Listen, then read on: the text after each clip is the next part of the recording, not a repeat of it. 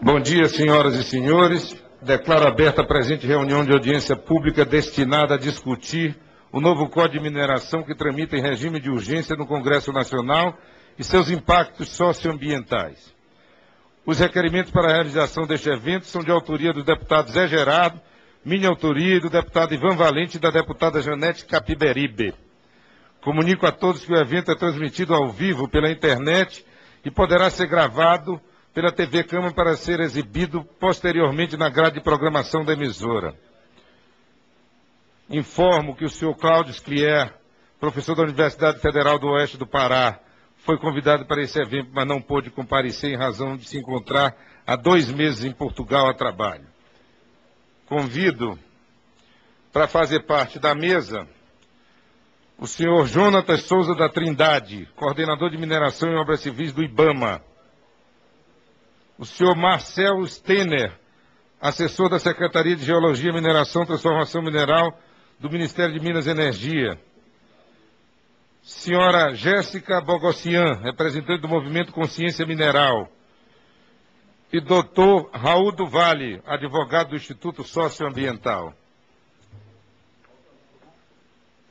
O, segundo me foi informado, Carlos Bittencourt, Acabou de chegar. Ah, tá bom. Acabou de chegar. Pronto. Senhores. Senhora. Tudo bem? Prazer. E aí, tudo bem? Raulzão. Doutor Raul, viu? Muito bem. A pedido da deputada Janete Capiberibe, que vai ter que se ausentar é, daqui a pouco, e ela que convidou a representante do movimento Consciência Mineral, nós vamos imediatamente passar as exposições convidando a senhora Jéssica Bogossian, representante do movimento Consciência Mineral, do, do movimento Consciência Mineral, para fazer as suas exposições.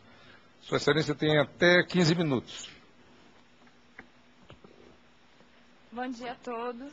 Antes de tudo, queria agradecer a Janete pela oportunidade de estar aqui expondo é, o movimento e, bom, é melhor ficar aí, né?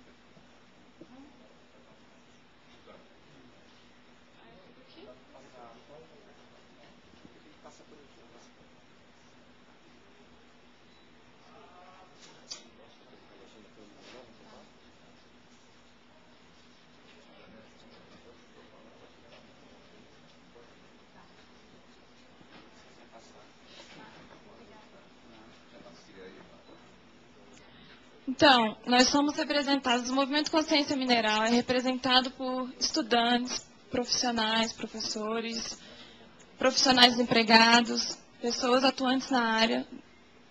E não tem, a característica principal é que não tem nenhum vínculo com instituições públicas, é, privadas, empresas, ONGs ou partidos políticos. E a nossa, o que, no que acreditamos, né? A, a nosso pleito é por uma legislação que incentive realmente o setor socioambientalmente responsável, de uma maneira socioambientalmente responsável e de uma maneira produtiva. E com um marco com mais competitividade e mais riqueza através de políticas públicas eficientes e condições de fiscalização efetiva dos órgãos responsáveis.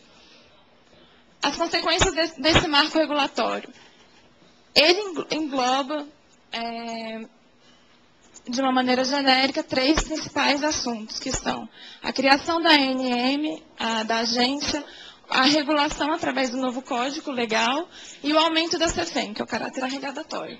Todas elas juntas dentro desse marco. Quais foram as consequências?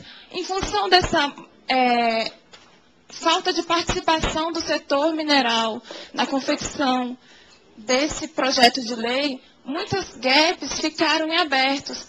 E, por isso, é, tamanho desagrado de vários é, setores e entidades. Só um minuto, Jéssica. É, só para registrar a presença do presidente da nossa comissão aqui, que veio prestigiar também essa audiência pública e, gentilmente, está cedendo a presidência aqui para que eu continue.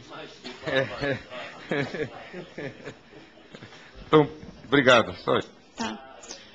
Então, voltando aqui, o marco dividido em três, cada um desses gaps aumentando a arrecadação, a discricionariedade e a burocracia.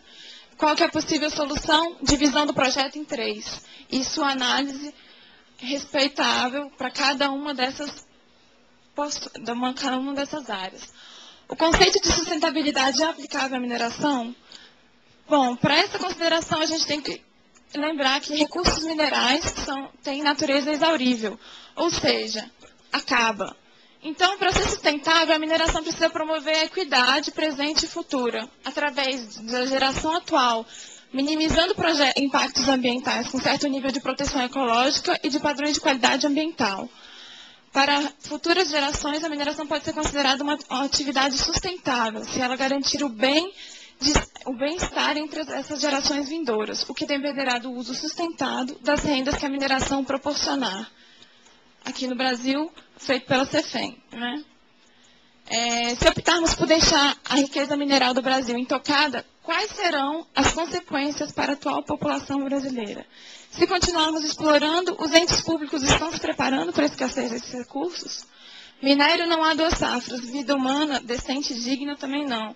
Essa frase do Paulo Scaff. Então, são conceitos que, assim, a gente tem que lembrar que esse, esse viés, sustentabilidade, essas coisas, elas evoluem, têm evoluído nos últimos anos. Isso é uma coisa que tem que ser feita, tem que se estreitar os laços de coisas que, na verdade, ocorrem juntas, né? Então, é uma evolução, né? Então, é, mineração e desenvolvimento socioeconômico. Aqui é uma, uma, uma, uma demonstração, né?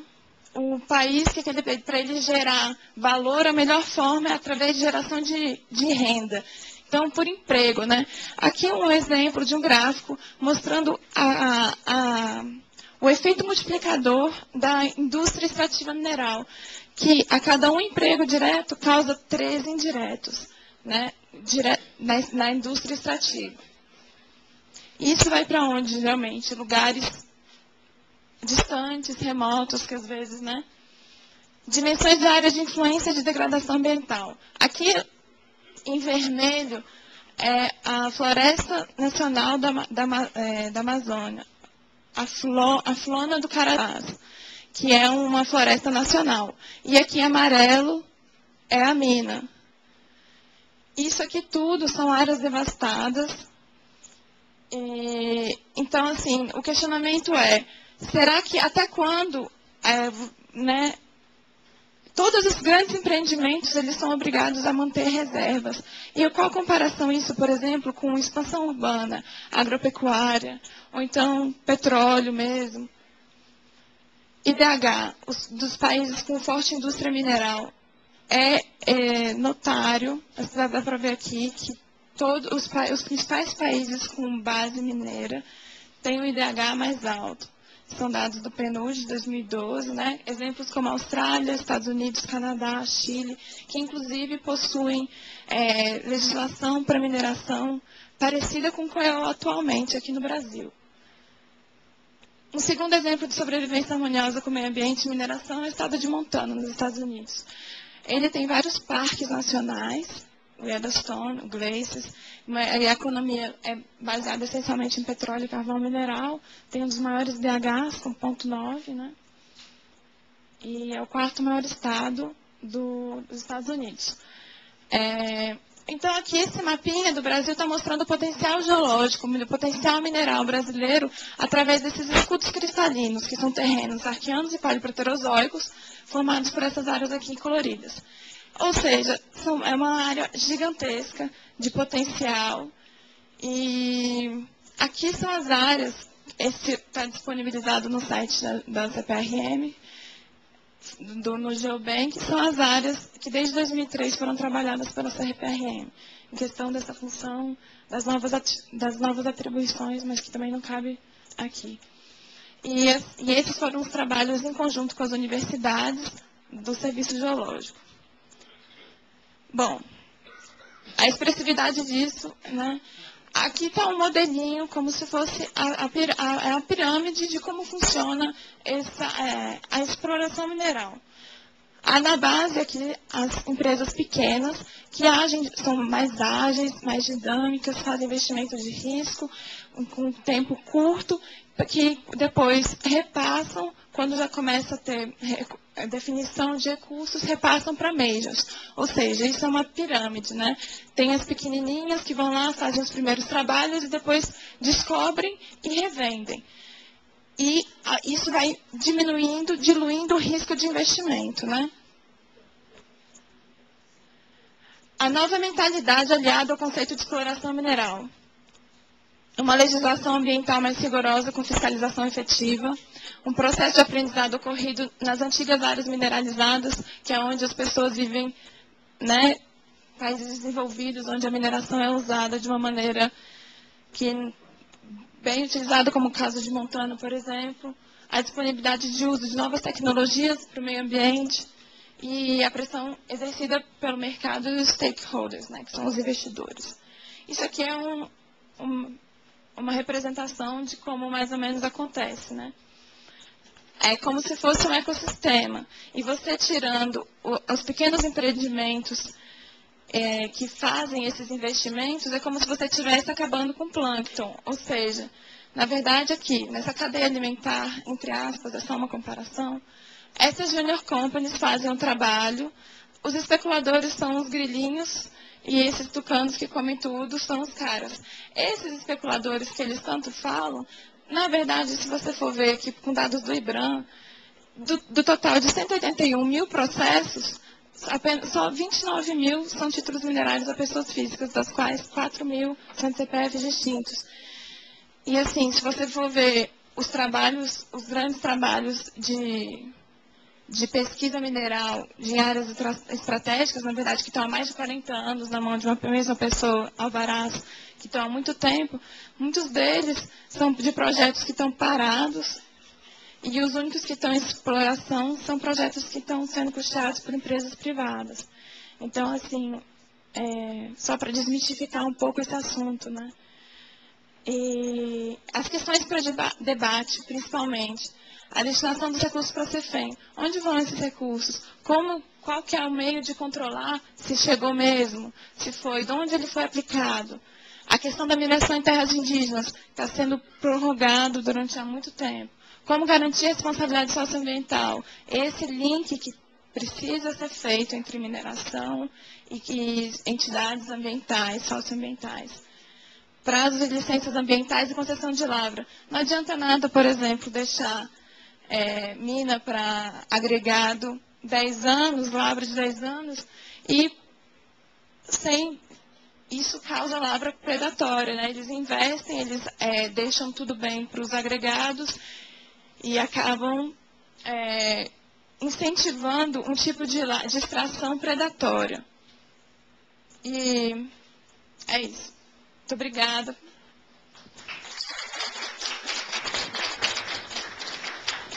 Obrigado, Jéssica. Pergunta da deputada Janete, se quer usar a palavra. Ou quer esperar uma outra mais exposição? Muito bem.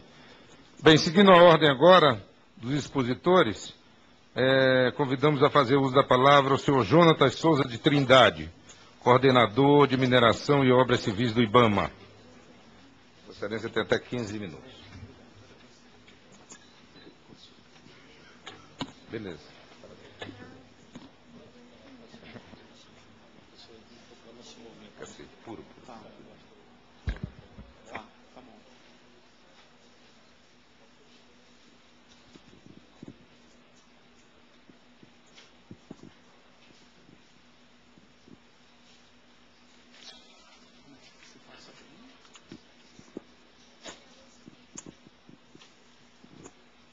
É, bom dia.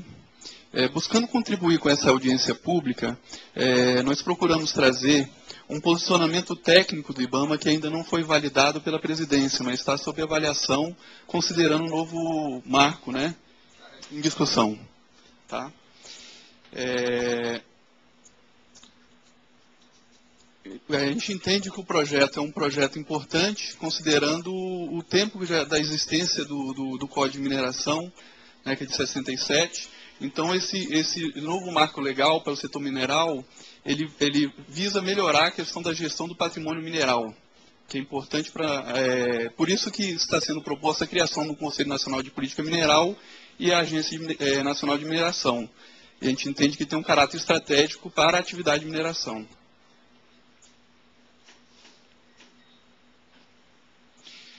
É, o, o, novo marco prevê a questão da concessão de direitos minerários precedida de, é, de licitação e a gente entende, enquanto é, área técnica, que deve haver uma interface entre o projeto de é, essa concessão e, e o licenciamento ambi, é, é, ambiental mineral, né, no caso, o licenciamento ambiental. E aí eu trouxe o conceito de licenciamento, que é um procedimento administrativo pelo qual o órgão ambiental autoriza a localização, instalação, ampliação e operação de empreendimentos e atividades utilizadoras de recursos ambientais, consideradas efetivas ou potencialmente poluidoras ou daquelas que, sob qualquer forma, possam causar degradação ambiental.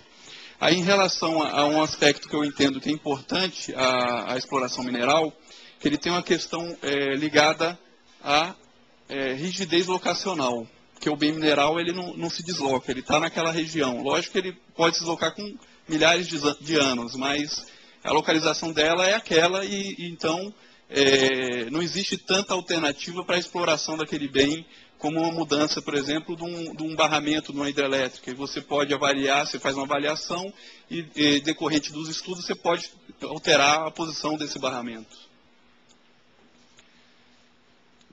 Então, considerando isso, considerando o, o, o novo código, a gente tem que pensar no desenvolvimento sustentável e, e também pensar na questão da recuperação dos danos ambientais que constitucionalmente, é, a nossa Constituição ela estabelece no artigo 225 que a atividade de mineração ela, ela é, uma, é uma atividade, é uma atividade que, que, após a realização ou durante sua realização, você deve também prever a questão da recuperação das áreas degradadas. É, nesse, nesse conceito, considerando a questão da rigidez locacional e a questão da recuperação das áreas, é, o entendimento técnico de que há necessidade de se conceituar o termo mineração como descrito no, no novo Código Florestal, né, considerando que a atividade de mineração é uma atividade de utilidade pública e que é necessariamente, normalmente, ocorre intervenção e supressão de vegetação em área de proteção permanente, né, que é onde se encontra o bem mineral. Aí, nessa, nessa questão da ampliação do conceito, ou da inserção desse conceito de é, atividade de mineração, a gente entende que ela, ela deve ser um, um, conceito mais amplo, que deve é, conter não só a questão do conceito do que é mineração, mas a questão que deve incluir que a atividade mineral ela contempla não só a extração, mas também um conjunto de instalações e atividades complementares ou auxiliares a esse complexo minerário. Então, o conceito deveria ser ampliado para um a questão no conceito de complexo minerário, né, porque é, as instalações muitas vezes também se, é, ocorrem nessas áreas de proteção permanente. Então, como já disse, é, há uma necessidade de compatibilizar a política minerária com a ambiental. Essa compatibilização é, se justifica é, pelo fato de delas serem é, atividades complementares, né? Que, como já falei, a, a Constituição fala que, que que a área explorada deve ser recuperada. E a, mesma, e a nossa, nossa mesma Constituição fala que são bens da União é, os bens minerais. Né? Então, não há um conflito, há uma complementariedade na questão da necessidade de se explorar e recuperar as áreas. É, nesse contexto, considerando nessa política nacional de meio ambiente, é, tecnicamente a gente entende que é, é, deve ser estabelecido o MMA com assento nesse Conselho Nacional de Política é, Minerária proposta no projeto. Assim como ocorre no Conselho Nacional de Meio Ambiente, que o MME tem assento. Isso visa melhorar essa contextualização e essa participação do, do meio ambiente é, como, como auxiliar a, a, a, esse, a esse Conselho de Política Minerária. É, uma outra sugestão que a gente entende que tecnicamente deve ser implementada ou pode ser implementada é que é, a Agência Nacional de Mineração ela, ela deve, ao tomar conhecimento de fato que possa configurar infração administrativa ambiental, inclusive do descumprimento de condicionantes relativas à licença ambiental, comunicá-lo imediatamente ao órgão licenciador. Isso é importante porque é, na atividade de fiscalização do DMPM como dos órgãos ambientais, é, isso facilita e agrega no contexto de ampliar a, a presença do Estado nesse, nesse controle ambiental. Apesar do empreendedor ser legalmente obrigado a recuperar o meio ambiente degradado, como eu já falei, o passivo ambiental do setor minerário, decorrente da desativação de minas, é uma externalidade negativa. Isso, isso era muito, é, principalmente ocorria muito é, em tempos pretéritos, antes mesmo da, da resolução CONAMA 01 de 86, em que muitas das áreas é, que foram exploradas não foram recuperadas.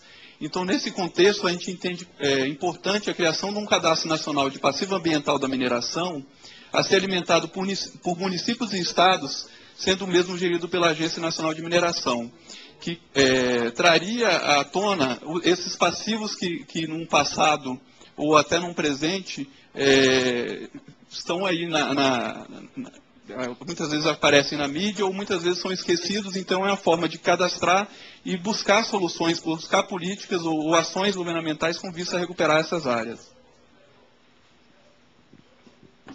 A gente entende também que a viabilidade ambiental das áreas a serem exploradas deve se realizar antes do processo licitatório. Então, seria uma inserção no código, é, nesse, novo, nesse novo marco, de, de ser feita uma avaliação, é, como ocorre nos moldes da, do, da, por exemplo, da instalação de hidrelétricas ou, ou da instalação de rodovias, em que são feitas é, análises prévias, não são estudos ambientais aprofundados como os do licenciamento, mas uma avaliação ambiental prévia para que é, se possa é, verificar a questão da sensibilidade das áreas, né? E para evitar possíveis conflitos com a política ambiental, né? Como sobre, é, sobreposição com unidade de conservação, de uso mais restritivo, ou que se verifiquem é, áreas de estudo objetos de limitações administrativas que muitas vezes são provisórias mas que visam a proteção, a conservação da natureza. A gente entende também que outro setor estratégico para os países é, considera a variável ambiental nos seus planejamentos, como eu já havia falado, a questão da hidrelétricas e, e rodovias. É que, no caso, seria um estudo de viabilidade técnica, econômica e ambiental. No caso do setor elétrico, eles, eles é, denominam um R3, que é um relatório que eles fazem, por exemplo, para definição de um traçado de linha de transmissão, em que eles verificam qual seria o melhor traçado para se fazer essa, essa, instalar essa linha de transmissão antes mesmo de submeter ou de, de começar o processo de licenciamento ambiental. Aí, nesse contexto, é, a gente entende que é importante a questão da oitiva dos órgãos ambientais é, prévio a, ao processo licitatório, também como ocorre no caso das explorações é, no, no, nas bacias petrolíferas, em, em, que há uma avaliação ambiental prévia para levar esses processos à licitação.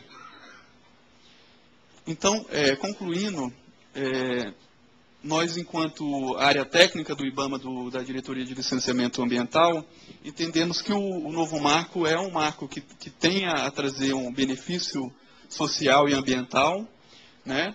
E, entendemos que as sugestões apresentadas, que ainda é um posicionamento não definitivo, que depende da avaliação da presidência do IBAMA, é, trará é, benefícios e agregará nesse contexto do, do novo marco.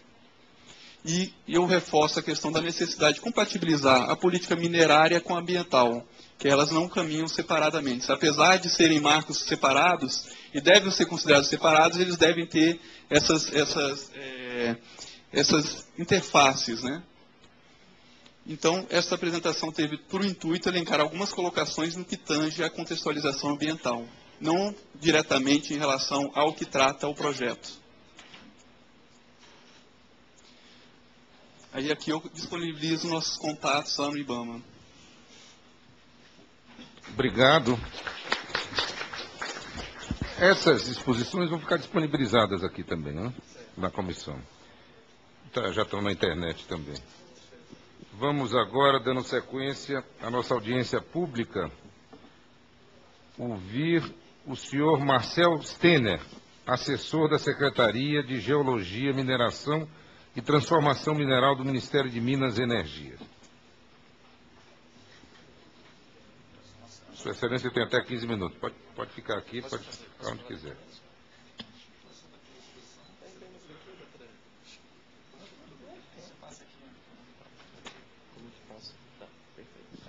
É, muito bom dia a todos, senhoras e senhores deputados, deputado Sarney Filho, muito obrigado pela, pela oportunidade. é, deputada Janete Capiberibe, sempre presente nas discussões da mineração, deputado Ivan Valente, os colegas do IBASE, do ISA, do IBAMA, colega do Movimento Consciência Social, senhoras e senhores, bom dia. É, dando início a essa apresentação, o material que vai ficar disponível no, tem aí o sumário das questões que vão ser abordadas, as modificações institucionais, especificamente a proposta de modelo regulatório, os regimes de aproveitamento, a questão da CEFEM. Em relação ao marco da mineração, é importante ressaltar que ele trata basicamente de três macro temas. São as normas de aproveitamento de recursos minerais, que são as alterações na sistemática de outorga e da política mineral em si, a criação da Agência Nacional de Mineração e a alteração das regras da CEFEM, que são efetivamente os royalties da mineração. Importante ressaltar de início que algumas matérias não foram tratadas nesse marco regulatório. Por quê? Porque são regidas por leis próprias. Dentre elas, a questão dos recursos que constituem monopólio da União, tais como nucleares e hidrocarbonetos, os fósseis, que, que, já são tratados em lei específica, a questão das terras indígenas, que já possuem dois projetos de lei tramitando nessa casa, já alguns em estágio avançado, por esse motivo ficaram não receberam tratamento específico dentro do marco da mineração. E a questão da permissão da lavra garimpeira. Em relação à lavra garimpeira, é importante ressaltar que a opção foi de não alterá-la, permanecendo os direitos minerários dos garimpeiros, os seus direitos, o seu tratamento, da forma como é mantida e garantida pelo Estatuto do Garimpeiro, a lei da mineração, que hoje já está vigente.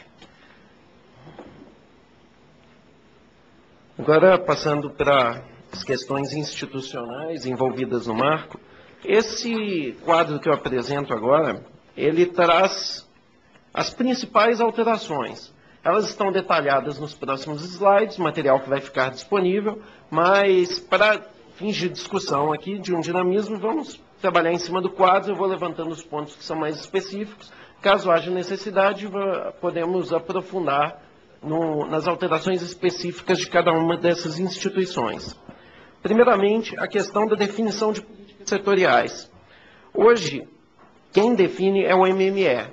Um grande avanço trazido pela proposta é a criação do Conselho Nacional de Política Mineral. Esse Conselho Nacional espera-se que tenha constituição interministerial com vários ministérios, dentre as áreas ambientais, de desenvolvimento, econômica, todas as áreas que o presidente da República julgar é, pertinentes a que estejam incluídas nesse conselho. Espera-se que tenha um funcionamento similar a outros conselhos que já operam hoje, tais como o CNPE e demais da área de infraestrutura. Por que, que a lei não traz a composição do CNPE? O CN, do, perdão, não o CNPE, o CNPM, Conselho Nacional de Política Mineral. Não traz pelo motivo de ser competência do presidente da República decidir via decreto regulamentar quais são esses ministérios, que fique para matéria de regulamento pós a tramitação do projeto de lei. No entanto, espera-se que tenha composição similar à dos demais. Né, dando, claro, garantindo dentro desse conselho voz para todos os segmentos afetados e que tenham, que tenham interesse na atividade mineral, que sejam impactados e, claro, que possam contribuir para que a mineração ocorra de maneira sustentável e comprometida com o desenvolvimento do país. O poder concedente. O poder concedente hoje materializa-se no MME e no DNPM. As autorizações, as permissões de lavra garimpeira, os municípios hoje são licenciados pelo MME e, e, pelo DNPM, passarão a ser pelo MME e pela Agência Nacional de Mineração passará a ser pela agência pelo fato da agência vir substituir o DNPM na regulação do setor. Definição de áreas para licitação. Hoje não há áreas para licitação. Passarão a ser definidas pelo CNPM. É importante ressaltar dentro desse tema que já há várias décadas aborda-se a questão da ausência de políticas setoriais para a mineração. No entanto, não há política setorial sem planejamento. A importância que o setor ganha vem com a retomada do planejamento. Nesse sentido, o planejamento via rodadas de licitação de forma similar com outros segmentos da indústria, venha proporcionar que o CNPM, em conjunto com a sociedade, venha propor políticas setoriais para o desenvolvimento da mineração no país. A questão da regulação e da fiscalização, hoje já exercida pelo DNPM, que exerce funções típicas de agências reguladoras, passará a ser exercida pela Agência Nacional de Mineração. Agência essa que terá competências similares a outras agências, terá os seus mecanismos de enforcement fortalecidos, garantindo que a mineração possa vir para um ambiente regulatório moderno, um sistema de gestão adequado a grandes investimentos e que possa incentivar, criar um ambiente de investimento saudável, garantindo assim a atração de investimentos e o desenvolvimento da mineração, obviamente prezando pelo desenvolvimento sustentável pelas preocupações sociais e ambientais. É, a promoção das licitações e das chamadas públicas ficará a cargo da agência reguladora. E importante deixar claro que o desenvolvimento e a produção de bens minerais, a exploração em si, ficará destinada a empresas privadas. Não há que se falar em estatização da produção de bens minerais no país. Hoje é parte, é função do privado desenvolver e produzir bens minerais. No novo marco regulatório, fica a cargo do setor privado a exploração e a produção de bens minerais. A arrecadação da CEFEM, hoje realizada pelo DNPM, passará a ser feita pela Agência Nacional de Mineração. Nos slides seguintes eu detalho um pouco mais as competências de cada uma das instituições, do Conselho Nacional como órgão para propor o planejamento do setor, estabelecer diretrizes para o estímulo de pesquisa, inovação e inclusive agregação de valor nas cadeias minerais, propor as áreas que venham a ser concedidas mediante licitação e diretrizes para autorização de exploração de recursos minerais o poder concedente. No caso, o MME, embora não tenha sido explicitado em lei que é o MME, a ideia é que seja o Ministério de Minas e Energia, é, vai ficar a cargo da elaboração de, de, do estabelecimento de políticas para o setor, a celebração dos contratos e de autorizar cessões e transferências de direitos minerários. Expedir autorizações e estabelecer as condições de aproveitamento. A Agência Nacional de Mineração a Agência Nacional de Mineração, fora um pouco até do tema que está abordado no, nos slides especificamente, por que uma agência reguladora para o setor? Esse foi um debate muito caloroso. A percepção pública de agência reguladora muitas vezes se restringe às agências de regulação de serviços públicos ou de monopólios naturais. No setor mineral não há que se falar em controle de preço, controle de quantidade, entretanto, uma variável muito importante, talvez a mais importante, que garanta o bom, o efetivo realização de investimentos no setor mineral é o controle das condições de entrada dos agentes no setor. Obviamente, a produção de bens minerais só ocorrerá em níveis eficientes se a exploração, a pesquisa de bens minerais ocorrerem também em níveis eficientes. Nesse sentido, a agência reguladora vem pra, de, de forma a fortalecer e criar o aparato institucional que garantam instrumentos eficientes, tais como os que estão na sistemática de outorga proposta pelo governo, ou seja, capacidade técnica, capacidade econômica financeira e garantir a efetiva realização de investimentos mínimos para a pesquisa mineral. Nesse sentido, busca-se, com o, o, modelo regulatório proposto, que, as, que, que, se crie um ambiente em que estejam empresas efetivamente comprometidas com a realização de investimentos, que tenham capacidades, que tenham corpo técnico, que empreguem geólogos, que empreguem profissionais da área para que possam efetivamente trabalhar essas áreas. Nesse sentido, a criação de critérios tais como capacidade técnica, capacidade financeira e investimento mínimo exigem que se tenha uma agência reguladora de fato e não simplesmente um DNPM com a troca da placa do seu nome. Exige uma agência reguladora com capacidade de fiscalização, com capacidade de inteligência, de acompanhamento do mercado e de interpretação das tendências no setor. Desculpe. Sendo assim, uma agência reguladora de fato forte, independente, com capacidade técnica, com expertise e inteligência, é, é essencial para garantir que a mineração no Brasil possa ocorrer nos próximos anos com as melhores técnicas e garantindo um melhor ambiente de investimentos e atratividade. Proposta do marco regulatório. Agora é o modelo em si.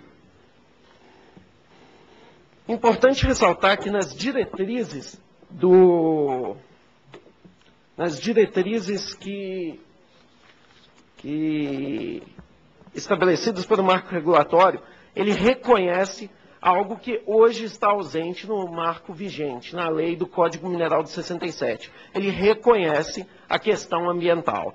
Ele reconhece e incorpora vários instrumentos que permitem que o poder concedente venha a regular de forma apropriada, junto com a Agência Nacional de Regulação, e crie o melhor aparato para garantir a, o desenvolvimento sustentável e a recuperação de eventuais danos ambientais causados pela atividade de mineração. Importante destacar também que é a lei, da forma como foi elaborada, é uma lei quadro. Uma lei quadro, de certa forma, tem um caráter genérico. Por que tem um caráter genérico? Já é uma lei bastante extensa da forma com, na qual foi apresentada. É uma lei que trata de um setor que se tem mais de 80 bens minerais comerciáveis, que vai desde o garimpeiro, desde empreendimentos pequenos, microempreendimentos com baixo investimento, mas do quais vários segmentos sociais dependem dele para o seu desenvolvimento, até grandes empresas com capital estrangeiro, as majors anteriormente demonstradas, que operam com uma outra lógica de gestão. Nesse sentido, uma lei quadro se fez necessária, visto que não seria possível detalhar completamente toda a regulação, a qual muitas vezes deverá ser remetida tanto a decreto quanto a regulação da agência. Caso se optasse por fazer um, uma lei que abordasse todos os assuntos, a gente poderia estar esperando aí um, um texto com mais de 700, 800 artigos, o que não seria o caso, não é apropriada. os juristas muitas vezes abordam que as leis quadros são um instrumento moderno que dá ampla possibilidade de regulação sem trazer insegurança jurídica, sem afastar os investimentos. Nesse sentido, é, é importante frisar que a lei trouxe incisos tais como o inciso 5 do artigo 1 o compromisso com o desenvolvimento sustentável e com a recuperação dos danos ambientais causados pela atividade de mineração. Mais à frente será também ressaltado que estabelece em lei que a responsabilidade por questões ambientais é do minerador. Agora vamos discutir um pouco as mudanças do, do, da sistemática de outorga. Como que se dá hoje? O regime vigente é a regra de prioridade. É um sistema burocrático, o primeiro que chegar simplesmente protocolar um requerimento de pesquisa obtém a sua autorização de pesquisa e autorização de lavra. A proposta, a, a proposta apresentada pelo Executivo estabelece a licitação e a chamada pública. As licitações sendo realizadas em áreas definidas pelo poder concedente, é, áreas com potencial reconhecido, com informação disponível, com atratividade comprovada, áreas em que o risco é, de investimentos é inferior, é reconhecidamente inferior, áreas que possam vir a ser valoradas em um processo licitatório atendendo a, a questões constitucionais nas quais a concessão deve ser, deve ser precedida de licitação, em se tratando de um bem público. Instrumentos de outorga. Hoje é uma portaria, uma simples portaria do MME, que garante a, a concessão de lavra para os agentes do setor. A proposta é que se estabeleçam contratos de forma similar a outros setores da economia. Outros setores que, tais como de infraestrutura, pode ser petróleo, transportes, energia elétrica, muitas vezes é comparada a questão, ah, foi copiado o modelo do petróleo. Não, não foi copiado o modelo do petróleo. Foi instituído, foram utilizados parâmetros similares a que são utilizados a outros segmentos de concessão de infraestrutura, em se tratando de um bem público. Nesse sentido, contrato de concessão, rodadas de licitação, é, cláusulas mínimas desse contrato que venham dar garantias tanto ao poder concedente quanto aos empresários de que haverá segurança para se realizar os investimentos e, e assim garantir o, o que a mineração prospere. Deputado, o, quanto eu tenho de tempo? Está esgotado? Vou, ok, vou tentar ser um pouco mais breve, apesar de, de ter bastante coisa ainda. Questão dos, da renovação, vai ter renovação, sessão e transferência de direitos. Passará a, passará a, ser, a ser dada anuência prévia do poder concedente. O que isso é estabelecido pela Constituição Federal, é um dever do poder concedente analisar a sessão de títulos. Questão das sanções administrativas também evoluiu bastante em relação ao que está no projeto hoje. Deixa eu acelerar aqui. Questão do aproveitamento mineral, como eu disse anteriormente, é, atribui a responsabilidade ao minerador pela recuperação das áreas impactadas. O modelo regulatório, infelizmente, não vamos ter, ter tempo para poder. Tá, ok. Tá. Então, vou para o final. A questão da compensação financeira, importante ressaltar que o Brasil é o único país no mundo que repassa 88% dos seus recursos a, a, a título de, de royalties da mineração para estados e municípios. A União fica com a menor parcela, 12%. Nesse sentido, não há que se falar em que o projeto de lei teria um perfil exclusivamente arrecadatório. As regras de transição. Acho que o ponto mais sensível e mais polêmico Cabe destacar que os 80% para os municípios? 88% são repassados para estados e municípios. Ah, estados e municípios. Estados e municípios. 65% para municípios, o resto para estados União. Isso. E a questão do, dos requerimentos de pesquisa em análise serão encaminhados para a chamada pública. As autorizações de pesquisa sem início de trabalho receberão novo prazo. Aquelas que estiverem em andamento, no caso de relatório final, vão ter os seus direitos é, mantidos. Então não há que se dizer a questão de que eventualmente o minerador venha pesquisar algo e tenha sua área licitada. Os direitos serão mantidos, serão respeitados, como é a tradição desse país. É, os requerimentos de lavra serão concedidos, deferidos nos termos do novo contrato de concessão. A concessão de lavra outorgada será mantida nas formas, no, garantidos seus direitos na forma como foi outorgada, de acordo com a lei vigente. A cessão e transferência de títulos deverá assinar contrato de concessão e o regime de licenciamento atualmente em vigor será extinto e deverá ser substituído pela autorização de lavra, esse é um regime simplificado, que não haverá licitação para minérios mais dinâmicos, tais como os agregados da construção civil, rochas ornamentais, etc. O último ponto só para destacar, por que tem prazo? Contratos tem que ter prazo. Um contrato de concessão deve ter prazo definido. No mais, coloco-me à disposição para mais uh, esclarecimentos. Muito obrigado. Obrigado. Obrigado ao senhor. Vamos ouvir agora o senhor Carlos Bittencourt, consultor do IBASE, Instituto Brasileiro de Análises Sociais e Econômicas. O senhor tem até 15 minutos.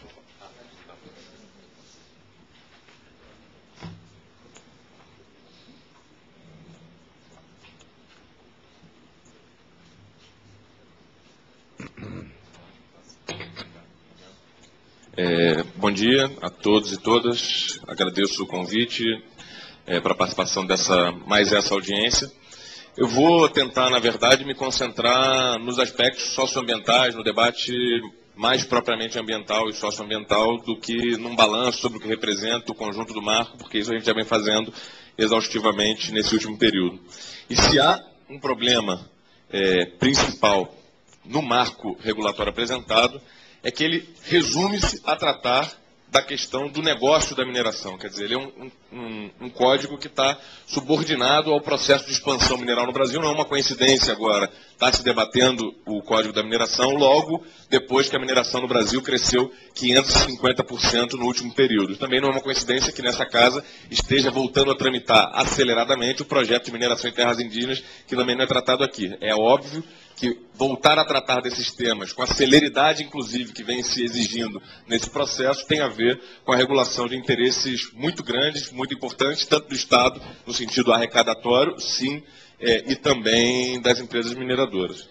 Então, a participação, inclusive, não é só do, do, da indústria extrativa mineral no PIB cresceu 156% nesse último período, saltando de 1,6% para 4,1%. Então mostra que é um processo forte, inclusive, de reprimarização do setor. Mas o que a gente veio falar aqui é justamente que se os negócios da mineração cresceram, se a mineração cresceu no Brasil, seus impactos cresceram numa proporção similar. Os impactos sobre as comunidades afetadas, sobre as nascentes e rios, sobre as águas subterrâneas, cresceram numa proporção similar, já que a mineração e às vezes isso, isso, me incomoda, parece que a gente está tratando de um mar de rosas, né? Senta aqui no Congresso em cadeiras confortáveis e parece que está tratando um mar de rosas, como se fosse a regulação de uma fábrica de bombons. E não é disso que se trata. Se trata de uma, uma atividade altamente é, perniciosa para as localidades, as comunidades e também para o meio ambiente. E não é à toa que, como disse o procurador federal nas duas vezes que teve nas audiências, é, são as duas, duas, duas únicas atividades que são citadas explicitamente na Constituição com relação à questão ambiental, é a mineração e a é, produção atômica, nuclear. Então, na verdade, isso já demonstra como os constituintes da época já previam e entendiam desses impactos. Então, não foi só a grana da mineração que cresceu nesse último período, que é 50%. Se, se você for olhar o processo de expansão entre 2002 e 2011 desses minerais que eu cito aqui, na verdade eu poderia citar vários outros, há um processo fortíssimo da de expansão da extração mineral. Então, 50% da areia, 140% da bauxita e alguns ainda mais absurdos, como 597% do cobre, 614% do tungstênio, 647% do zinco. Que significa isso? Porque às vezes se trata, ah não, a mineração é uma atividade e os aspectos ambientais são outros. Mas ora, a mineração não trata justamente de extrair recursos naturais, não trata justamente, então, na verdade, a própria mineração revolve em si mesma os aspectos socioambientais. Então, não se tratam de externalidades as consequências da mineração. A mineração é uma atividade que está profundamente vinculada à extração de recursos naturais, ela é isso mesmo. Então, além dessa expansão no último período, o próprio, é, a comissão que construiu na, na, Secretaria de Geologia e Mineração, inclusive uma equipe anterior com Cláudio Sclir, fez construir um Plano Nacional de Mineração 2030. Essa é uma tabela que eu tirei dali, do Ministério de Minas e Energia, que tem um cenário da expansão do setor mineral. Se vocês olharem ali, ó, o ferro tem a previsão de chegar a um bilhão de toneladas produzidas em 2030 é, e por aí vai. São crescimentos da ordem de multiplicar por três vezes, multiplicar por quatro vezes, duplicar a produção. Aqui mais ou menos está o gráfico que resulta no crescimento de alguns desses minerais. Mas o que significa multiplicar por quatro vezes a extração de algum mineral? Multiplicar por quatro vezes a extração de algum mineral significa dividir por quatro o tempo de duração das reservas minerais. É disso que se trata. Multiplicar por dois significa reduzir pela metade o tempo de duração da reserva mineral, já que se trata de um recurso exaurível, é, finito, não renovável e não tem segunda safra. Então, se trata exatamente disso, de reduzir. Então, o planejamento nacional que avança dando às empresas privadas o direito de exaurir nossas reservas e dividir pela metade, pela terça parte ou pela quarta parte as reservas minerais nacionais. É um planejamento de futuro, é um planejamento que está voltado realmente para o bem da sociedade brasileira. Aqui são dados é, impressionantes do que vem significando a expansão mineral no Brasil do ponto de vista da economia e da sua reprimarização. É, desde o ano de 64, as exportações brasileiras eram 80% de produtos básicos e 8% de produtos manufaturados. O processo de investimento na indústria, na indústria brasileira, no processo de desenvolvimento nacional, faz essa virar um X, quer dizer, a exportação de bens manufaturados cresce e chega a mais de 50%, a mais de 60% na década de 90, e a exportação de produtos, é, bens básicos não manufaturados, cai a menos de 30%. No último período, justamente de 2000 até agora, e na verdade no período neoliberal você tem toda a desregulamentação que permite que isso aconteça agora, você tem uma nova curva e um outro X acontecendo ali. Quer dizer, as exportações de produtos é, primários, e, e, óbvio que o ferro cumpre papel central nisso, já são maiores que as exportações de produtos é, manufaturados. Aqui tem uma prova disso no nosso PIB, né? a indústria de transformação caindo de 17,2 para 14,6 e, como eu tinha dito antes, a indústria extrativa mineral crescendo de 1,6 para 4,1. Alguns elementos que estão associados à extração mineral que muitas vezes são esquecidos. O consumo de energia.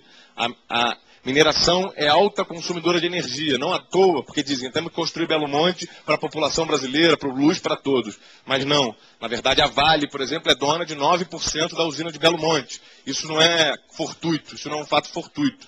Então, na verdade, por exemplo, para usar o exemplo da Albras, para produzir 432 mil toneladas de alumínio, a Albras lá em Barcarena consumiu a mesma quantidade de energia elétrica das duas maiores cidades da Amazônia, Belém e Manaus. A empresa responde por 1,5% do consumo de eletricidade do Brasil com os 200 milhões de habitantes. Então, a gente está falando também de uma indústria que é altamente consumidora de alumínio, de energia. Em 2010, um novo dado aqui, os setores de mineração, pelotização, ferro-gusa, aço e as empresas de metais não ferrosas e produção de ferro-liga consumiram conjuntamente 27 milhões de toneladas equivalentes de petróleo, enquanto o consumo de todas as residências no país ficou no patamar de 23 milhões. Então, na verdade, isso também se revela como a indústria da mineração cumpre um papel para isso, tem se o modelo de desenvolvimento nacional. Sobre o consumo de água, que é um outro recurso fundamental da nossa natureza e que não pode ser tratado uma externalidade para a mineração. A mineração em 2012 são dados da ANA, e a ANA, eu pedi o dado de requerimento da ANA, a ANA me disse, esses são dados incompletos, provavelmente nós não temos todo o cadastro da utilização de água no Brasil, e a gente, esse, provavelmente o dado é maior. A mineração consumiu aquele número ali, ó, 5, 4 trilhões de litros d'água em 2012. Isso dados incompletos, insuficientes. Isso significa oito cidades do Rio de Janeiro, só a mineração. E ali embaixo são as outorgas de água, também fornecidas pela ANA. A mineração já ultrapassa a indústria no número de outorgas totais de água no período de 2001 a 2012. Então, obviamente, nós estamos tratando de questões de externalidade, como estamos tratando da mineração. Estamos tratando de questões profundamente vinculadas ao processo mineral em si. Além disso, do aspecto da água, da energia, a mineração é altamente impactante para os territórios. Para se ter uma noção, para se produzir um quilo de ouro, é necessário revolver 540 toneladas de outros materiais para se conseguir um quilo de ouro em média. Então imagina o impacto que isso tem para um território e assim por aí vai. Né? O ferro, a, a relação é mais benéfica, mas também é gigantesca e por aí vai. Então, na verdade, isso destrói quando você entra, você cava águas subterrâneas, você impacta uma série de, de aspectos do ambiente naquelas localidades. Fazer uma breve lista aqui, isso são dados e mais dados. O motorista agora da Câmara que me trouxe, Eustáquio, disse que era de Paracatu. Falou, estão destruindo a minha cidade com a mineração de ouro. É óbvio para quem vive nas cidades e quem vive a mineração de perto, e não apenas a debate dentro de gabinetes, tratando como se fosse a regulação de uma atividade qualquer, que é uma atividade bastante destrutiva. Então, a contaminação de águas e rios são centenas de bacias hidrográficas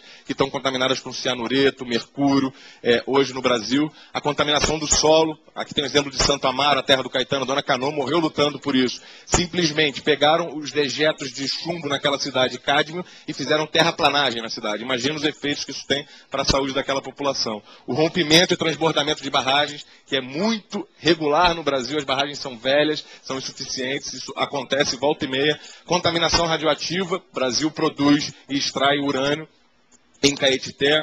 A devastação de florestas, é, poluição do ar, poluição sonora, destruição do patrimônio espeleológico e por aí vai. Então, é óbvio que a gente não está tratando apenas de externalidades. Além dos acidentes de trabalho, meu tempo já começa a se exaurir, assim como os minérios, então eu vou é, é, é, ser um pouco mais breve. Então, ao mesmo tempo que isso ocorre, você tem um processo de aceleração dos processos de licenciamento ambiental e de flexibilização das leis. Por exemplo, a Resolução CONAMA de 2006 coloca os casos excepcionais onde se pode inter... suprimir vegetação em área de preservação permanente. E não à toa existe a seção 2 apenas tratando da extração mineral como um elemento fundamental dessa lei. Isso foi aprovado em 2006, então não é não é que tenha sido permitido, é um processo atual que está em curso e óbvio que o código tem a ver com isso. O mais impressionante é pensar que o código em vigência de 1967, o Código dos Generais, tinha é, mais declarações explícitas de preservação ambiental do que as genéricas é, apresentações que vêm agora nesse código dizendo da defesa do desenvolvimento sustentável ou que o responsável por conter os danos é, são as empresas. Porque isso já tem na Constituição, isso é chover no molhado.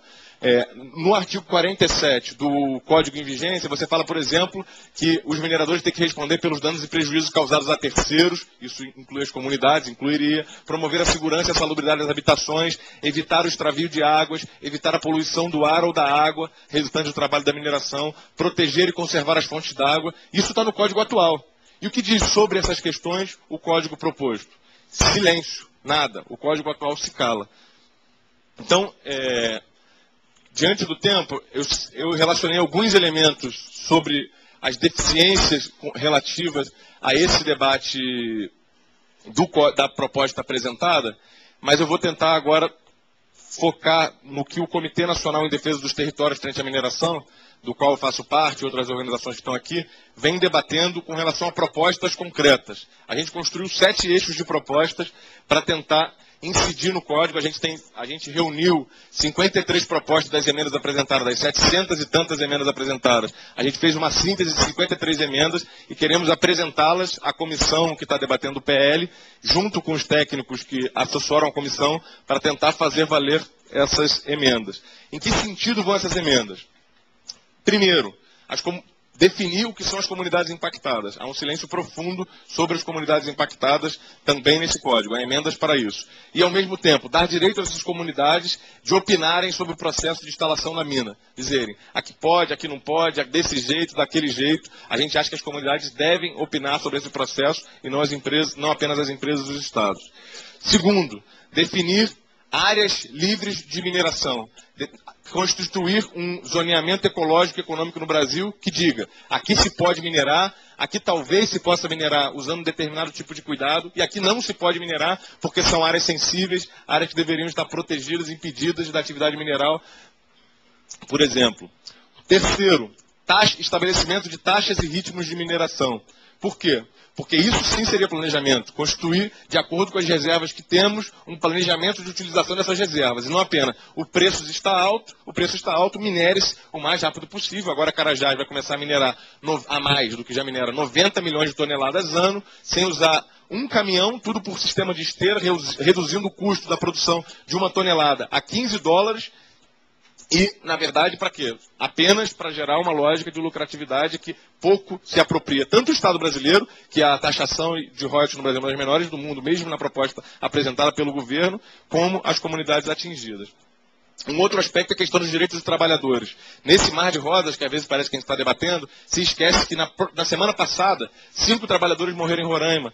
É, na, há pouco tempo atrás, dez no Amapá. A todo tempo, a mineração é uma das indústrias que mais mata, mutila e enlouquece seus trabalhadores no país. E o que o código fala sobre isso, além da, do artigo da, da mensagem que está colocada no, artigo 1 mas sem definir nada. Então a gente acha que a norma regulamentar 22, que regula o trabalho na mineração, concluindo, que regula o trabalho na mineração, que, que, regula o trabalho na mineração deveria ser colocada como um aspecto dessa legislação, pelo menos em termos legais. Lá, por exemplo, diz que o trabalhador, se se sentir em risco ou em perigo, tem o direito de interromper o trabalho da mina. Achamos que esse é um aspecto importante a ser levado em consideração no sentido de garantir a saúde física e a sobrevivência dos trabalhadores.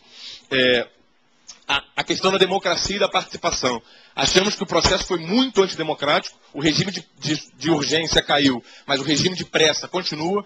Não há o menor sentido de debater um tema da complexidade e da profundidade, estratégica inclusive para o Brasil, em tão pouco tempo. Qual o interesse que está por trás dessa pressa e dessa celeridade no processo? É o interesse nacional, é o interesse do debate público, é o interesse da democracia, ou é o interesse justamente da lógica do mercado e dos seus ritmos? Eu acho que esse, a, a, gente deveria sair daqui dessa audiência com uma crítica a essa celeridade e sair daqui com uma proposta de é, ampliação desse prazo, do prazo do debate. E mais do que isso, acreditamos que é necessário construir os marcos da participação cidadã dentro desse código. Construir os marcos da participação cidadã, e temos emenda para isso. Dentro do Conselho Nacional de Mineração, dentro da Agência Nacional de Mineração e nos processos de decisão sobre as questões minerárias. Então, a gente é, tem uma análise sobre o que é o código, achamos que dizer que uma lei quadro como essa pode garantir as questões ambientais para nós, isso é muito temerário, porque dá ao príncipe, dá ao Estado a discricionalidade de fazê-lo ou não, porque isso não está colocado na lei. Então, para nós, a lei não é extensa, é muito curta, uma lei que extingue outras três, só tem 58 artigos e substitui leis maiores que ela. Na verdade, é uma lei é, bastante curta, pequena e genérica, o que dá margem para se fazer pode se fazer o bem, mas também pode se fazer o mal. Então a nossa opinião é que é melhor, mesmo que em regulações gerais, entrar nesses debates, ter a coragem e fazer com que esse Congresso Nacional aprove uma legislação melhor que a dos generais. Tenha coragem para isso. Porque a gente está muito preocupado, o IBASE lançou um estudo, eu vou circular aqui para vocês, é, analisando quem é quem do Código da Mineração, e ali, por exemplo, se vê que foram amplas as quantias doadas pelos mineradores a diversos parlamentares que fazem parte da comissão. O PMDB, por exemplo, recebeu mais de 7 milhões de reais de empresas mineradoras. O próprio relator da comissão especial que vai fazer a proposta final do projeto, mais de 20% da sua campanha eleitoral de 2 milhões de reais foram doados por empresas mineradoras. É óbvio que isso é, as empresas não doaram é, esperando, não esperando nada em troca. Então a gente acha que esse é um processo também que deve estar em debate na questão democrática nesse momento. Obrigado. Obrigado, Carlos Bittencourt. É, eu gostaria de, antes de passar a palavra ao último expositor, é, Carlos, é, dizer o seguinte: tão logo essa proposta veio para cá, nós nos reunimos, alguns ambientalistas, e fizemos uma série de emendas, propostas de emenda, e que elas vão inteiramente ao encontro daquilo que foi falado aí. Então, essas propostas já estão tramitando na comissão. Eu mesmo já tive duas reuniões com o relator. Só para um, rápido comentário.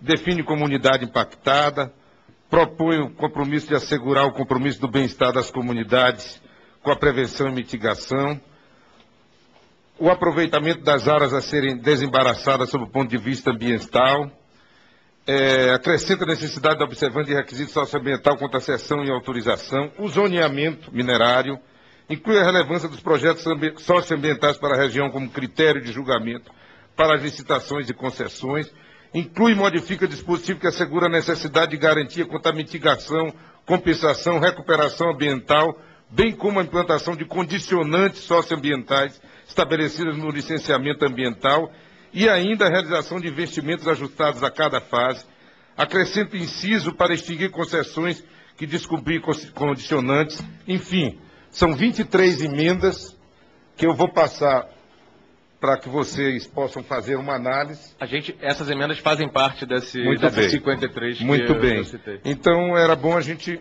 unir esforços. Eu já estou no âmbito parlamentar, já é, é, fazendo gestões para que elas sejam acolhidas não se pronunciou. Ouviu com cara de, de estátua e ficou desse jeito mesmo. Com cara de financiado. Não modificou. Com cara de financiado, inclusive. Não sei, isso aí. Bem, então, isso aí eu não, presidente, não entro nessa. queria cena. fazer um registro aqui. Pois não, deputado Ivan Valente, um dos autores do requerimento, um do- a quem irei passar a presidência da comissão daqui a pouco. Daqui a pouco. É, não, só para registrar que a, a o Pós-TV, mídia alternativa, também está transmitindo diretamente o nosso evento aqui. Muito Tá bem. E é muito, muito positivo que o faça. Eu acho extremamente necessário e essa faltava, quer dizer, já que a comissão especial não fez uma reunião com esse objetivo de discutir os impactos socioambientais e também é, é, é, eu tinha dito agora no começo, quando fui entrevistado aí na chegada, perguntaram qual era a grande, a grande, o grande problema dessa legislação. Qual era o grande, o artigo que mais. Não é o artigo, é a tendência, que é a mesma tendência que infelizmente aconteceu no Código Florestal. É uma tendência de se privilegiar o indivíduo em detrimento dos direitos da sociedade. Simplesmente isso. Essa é a tendência que está vigorando, que vigorou na reforma do Código Florestal, que está vigorando agora, que está vigorando também na proposta de acabar com as terras indígenas. É o mesmo, é, é a mesma coisa, são os mesmos grupos, as mesmas, pode-se dizer até que são os mesmos parlamentares, as mesmos, os mesmos interesses. Então a gente realmente precisa cada vez mais da participação da sociedade civil organizada, porque o Congresso eh, ele responde às pressões sociais. Quanto mais fortes forem elas, o deputado Dutra, que está aqui prestigiando nossa, nossa, nossa audiência pública, bem sabe, quanto mais fortes forem elas, mais possibilidade nós teremos aqui de influenciar. Bem, como último, pois não, deputado Chico Temos uma, uma informação que talvez muitos aqui já tenham. Eu, como alguns outros, poucos daqui hoje, faço parte da comissão especial do Código da Mineração. A aparente vitória de, afinal, o Executivo ter retirado a urgência é aparente, porque há na comissão um pensamento majoritário, fortemente majoritário, largamente hegemônico, de votar tudo no dia 15. Então, 15 próximo agora, daqui a três semanas. Isso é um alerta, porque de fato essas questões, com a gravidade contundência que elas são colocadas aqui nesse, nessa audiência pública, que não tem infelizmente a presença do relator e nem do deputado eh, Guimarães, né, do PT de Minas e do. Não, relator é o deputado Quintão, de Minas. O Código da Mineração é hegemonizado pelos mineiros e pelas mineradoras. É, nem o relator nem o presidente estão presentes aqui, é ruim, eu estou recolhendo material, vamos levar a eles, mas a noção é votar, a intenção é votar tudo dia 15. E, curiosamente, não por quando há presença de representantes de grandes empresas, o quórum é altíssimo. Quando teve audiência com os movimentos sociais, estivemos com uma presença bem aquém do razoável. Por fim, alguns com razão até questionaram por que, que vocês, os dois representantes do pessoal, não sei mais alguém, assinaram uma proposta lá que não prosperará de dividir em três o código e tal, com esse intuito de discutir mais, de demorar, de ganhar tempo, mas mesmo essa intenção parece que não será realizada. Né? A gente, quanto mais puder discutir, em sede própria, agência reguladora, na outra, a questão de tributos, na outra, o código propriamente dito, melhor. É, mas também parece que nada disso vai acontecer. Então é só um alerta sobre o fim, como o Carlos falou muito bem. Acabou a urgência, mas a pressa continua forte. Bem, vamos, vamos tentar fazer um, tudo para conseguir ampliar o prazo dessa discussão. É, vou fazer uma reunião também, eu acho que nós temos um representante do PV, que é de Minas, eu vou inclusive falar com ele, dizer, reunir a bancada para a gente tomar uma posição de bancada no que diz respeito à nossa atuação nessa, nessa comissão. Estamos juntos, estamos juntos nessa proposta de ampliarmos o prazo de discussão. Bem, para fechar aqui os expositores, com chave de ouro, aí o doutor Raul do o advogado do ISA.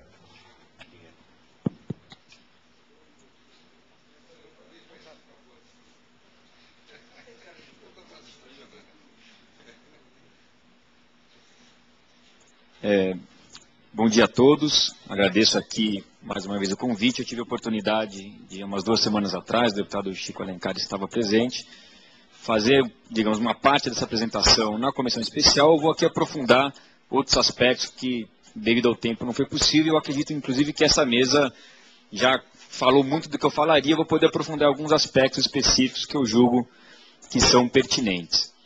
Eu vou pular essa parte inicial toda, eu acho que o Carlos já falou, né, digamos, do Plano Nacional de Mineração, da expectativa né, dentro da qual esse marco legal chega, que é de aumentar é, bastante o processo de exploração mineral no Brasil, e aí com todos os impactos decorrentes. Então, acho que é importante frisar aqui de novo o que o Carlos colocou, digamos, a mineração ela é inerentemente impactante. Por um lado, é uma atividade importante, necessária, fundamental, acho que isso não tem como se discutir, tanto por razão pela qual estamos discutindo o Código Mineral, mas também não podemos esquecer que ela é inerentemente impactante e altamente impactante. Então, é, digamos, nesse, nessa perspectiva que a gente tem que tratar. Muito bem. É, eu queria trazer aqui um exemplo que eu penso que ele é ilustrativo não é para falar desse caso, mas como esse caso pode trazer à tona as questões que nós gostaríamos de ver incluídas é, no Código de Mineração. Eu vou falar do Vale do Ribeira. Para quem não conhece, o Vale do Ribeira É, ele está situado no sul do estado de São Paulo, norte do Paraná, ele é um, né, pega os dois estados. É, ele hoje é é a, região do Brasil onde tem o maior remanescente contínuo de Mata Atlântica, 23% de toda a Mata Atlântica, que é um dos ecossistemas mais ameaçados do mundo, se encontra no Vale do Ribeira, né, ou seja, ele é a maior reserva de Mata Atlântica do Brasil. Ele é também um manancial estratégico para duas das maiores regiões metropolitanas do Brasil, a São Paulo, que é a maior, e de Curitiba, que é, que é a quarta maior.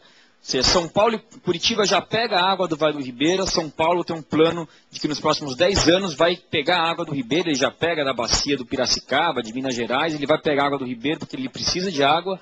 E a única fonte razoavelmente próxima de São Paulo onde tem água disponível. É, mas ele é rico não só em riquezas naturais, o Vale do Ribeira tem hoje 88 comunidades quilombolas já tituladas ou reconhecidas ou em processo de reconhecimento. Não por acaso, né? ou seja, é uma região preservada, uma região onde as comunidades quilombolas de alguma forma conseguiram se ver livre né, da especulação imobiliária né, na década de 40, 50, 60, 70, e hoje tem seus direitos territoriais reconhecidas, reconhecidos ou em processo de reconhecimento. Tem populações indígenas também, caiçaras, populações ribeirinhas outras, ou seja, é um local de extrema riqueza socioambiental. Só para mostrar isso aqui, o maior corredor de áreas protegidas do sul, sudeste do país está no Vale do Ribeira. Nós temos diversas unidades de conservação, de proteção integral ou de uso sustentável, formando um grande corredor de Mata Atlântica intacta e preservada, que é bastante importante né, para o país, porque já praticamente não existe mais na Mata Atlântica. Aqui, não sei se conseguem ver ali de trás, mas aqui são algumas das comunidades quilombolas que já estão reconhecidas, com territórios já reconhecidos e titulados, né, no entorno dessas áreas de, de conservação. Muito bem. Então, esse aqui é o mapa do Vale do Ribeira, esse aqui é o limite da bacia, certo? Então, áreas protegidas, comunidades quilombolas. E esse é o mapa do Ribeira olhado pelas empresas de mineração. Todos esses pontinhos vermelhos aqui são requerimentos minerários. São pedidos de autorização de pesquisa, são autorizações de, pesquisa, são requerimentos de lavra ou concessões de lavra. Então esse é o Vale do Ribeira, aqui está os limites né, da bacia hidrográfica, e isso é a quantidade de pedidos de interesse minerário. Por que, que isso acontece? Em parte porque hoje vigora o regime de prioridade. Então, na lógica atual, cada uma dessas empresas ou pessoas que vão lá pediram alguma coisa e foi concedido, está em análise, né? mas tem um processo possível. Nesse aspecto, o novo marco de mineração pode resolver. Ou seja, ele acaba com o regime de prioridade e pode dar um pouco mais de lógica, um pouco mais de sentido público a isso aqui. Mas desde que, eu acho que esse é o ponto, desde que todo esse processo de autorização pública que está se prevendo no novo marco de mineração, ou seja, Conselho Nacional de Política Mineral, CPRM, agência que vão regular e vão levar ao fim e ao cabo a uma licitação de uma jazida mineral, qualquer uma dessas aqui possíveis que pode existir por aqui, desde que esse processo tenha dentro de si o valor socioambiental. Leve em conta a dimensão socioambiental, que é algo que não está no marco, mesmo no marco, numa lei marco. Ou seja, uma lei marca, ela poderia e deveria e deve, no nosso ver, trazer isso daí. Então, por exemplo, uma região como essa, maior remanescente de Mata Atlântica, maior remanescente de comunidades quilombolas do estado de São Paulo e do Paraná, área importantíssima de manancial de água, corredor de áreas protegidas, é razoável que essa quantidade de pedidos se transformem algum dia em mineração efetiva? Me parece que não é razoável. Ou seja, assim como, digamos, existe a tal da rigidez locacional da mineração, que é real, aqui isso aqui também é uma rigidez locacional. Nós não temos outra Mata Atlântica no país, nós não temos, para essas comunidades quilombolas que estão há tanto tempo ali, que conseguiram sua titulação, a sua terra também é rígida, é diferente, muito diferente de um fazendeiro que você indeniza, ele sai do Paraná vai para o Mato Grosso, e pode ficar feliz, porque ele ganhou um dinheiro aqui, comprou uma terra maior lá e continua produzindo tanto ou mais do que produzia antes. Para uma comunidade quilombola, a terra dele é rígida. Para uma comunidade indígena, a terra dele é rígida. Ele não tem como sair dali. Se ele sair dali, ele deixa de ser o que ele é. E, portanto, a rigidez locacional também existe para populações tradicionais. A rigidez locacional para a produção de água para São Paulo ou para o Paraná também, também é, é alta aqui. Portanto, como que a gente resolve isso? Tem uma medida que poderia estar prevista no marco, zoneamento. Podemos fazer um zoneamento mineral ecológico. Ou seja, se aqui tem mineração de ouro, eu tirei essa tabela, mas aqui tem muitos pedidos de ouro, tem outros lugares do Brasil. Essa jazida só existe aqui, mas só existe aqui no Brasil. Vamos fazer um zoneamento. Façamos essa análise. Uma região como o Vale do Ribeiro deveria, num zoneamento mineral ecológico, ser uma região de alta sensibilidade. Já não teríamos essa quantidade de pedidos e possivelmente o órgão mineral já selecionaria muito bem quais são aqueles, aquelas jazidas específicas que poderiam, que se justifica, mesmo com toda essa sensibilidade você, mental, ser feita aqui. Você permite? Logo depois eu, eu vou dar a prorrogação, como dei para o Marcel dois minutos, três minutos, você vai ter mais ainda. Mas é o seguinte, eu acho oportuno, justamente que você está falando de quilombola, dessa questão, é evidente, é evidente que tem que se fazer o custo-benefício do país, e aí não tem nem, no zoneamento, isso aí é mata atlântica, não é só a mata, não é só o estoque, não é só a bioprospecção, tem também a fauna, tem uma opção de coisa, a maneira tradicional como visa o quilombola, mas eu aproveito essa oportunidade, porque Dia 2, em todo, em 20 cidades brasileiras, vai haver um movimento contra a PEC 215. Essa PEC 215, para aqueles que estão nos ouvindo na, internet, é, vendo na, no programa de televisão da TV Câmara, ela retira do Executivo a possibilidade de fazer novas demarcações de terras indígenas, quilombolas e unidades de conservação passa para o Congresso, ou seja, extingue. E não só isso, ela possibilita que as unidades já existentes, que as reservas indígenas já existentes, que as áreas quilombolas já existentes, que elas possam ser diminuídas e até mesmo extintas. O projeto de lei complementar, que também é pior do que a PEC, ele vai direto ao assunto. Então, é só para, acho que é pertinente nesse momento que a gente faça essa lembrança e peça realmente que essa mobilização demonstre ao país que há um engajamento socioambiental nessas questões. Só isso. Muito obrigado, deputado. Agradeço, inclusive, essa lembrança que é importante. Então, para resumir esse ponto aqui, é, se por um lado o fim do regime de prioridade pode ser uma forma de encaminhar uma solução mais lógica, mais pública, mais estratégica para o país, que não fique no, no, no interesse de cada empresa, no interesse individual, isso acho que isso é, é benéfico para o país, mas se isso não vier acompanhado da dimensão socioambiental, pode ser pior. Porque na hora em que você passa por um processo longo de decisão pública e chega lá na ponta e se por acaso se reproduz algo parecido com isso, a possibilidade de no licenciamento ambiental ou de outro lugar paralisar esse processo é muito baixa. Nós vamos estar gerando uma bomba em cima dos, dos órgãos ambientais que eles não têm como resolver. Então, penso eu que mesmo numa lei marco, a previsão de um zoneamento mineral ecológico é algo que é perfeitamente possível, sem precisar entrar em detalhes, a agência poderia detalhar né, depois, junto com órgãos ambientais, quais são os critérios, quais são as formas, prazos e tudo mais, mas a previsão está lá.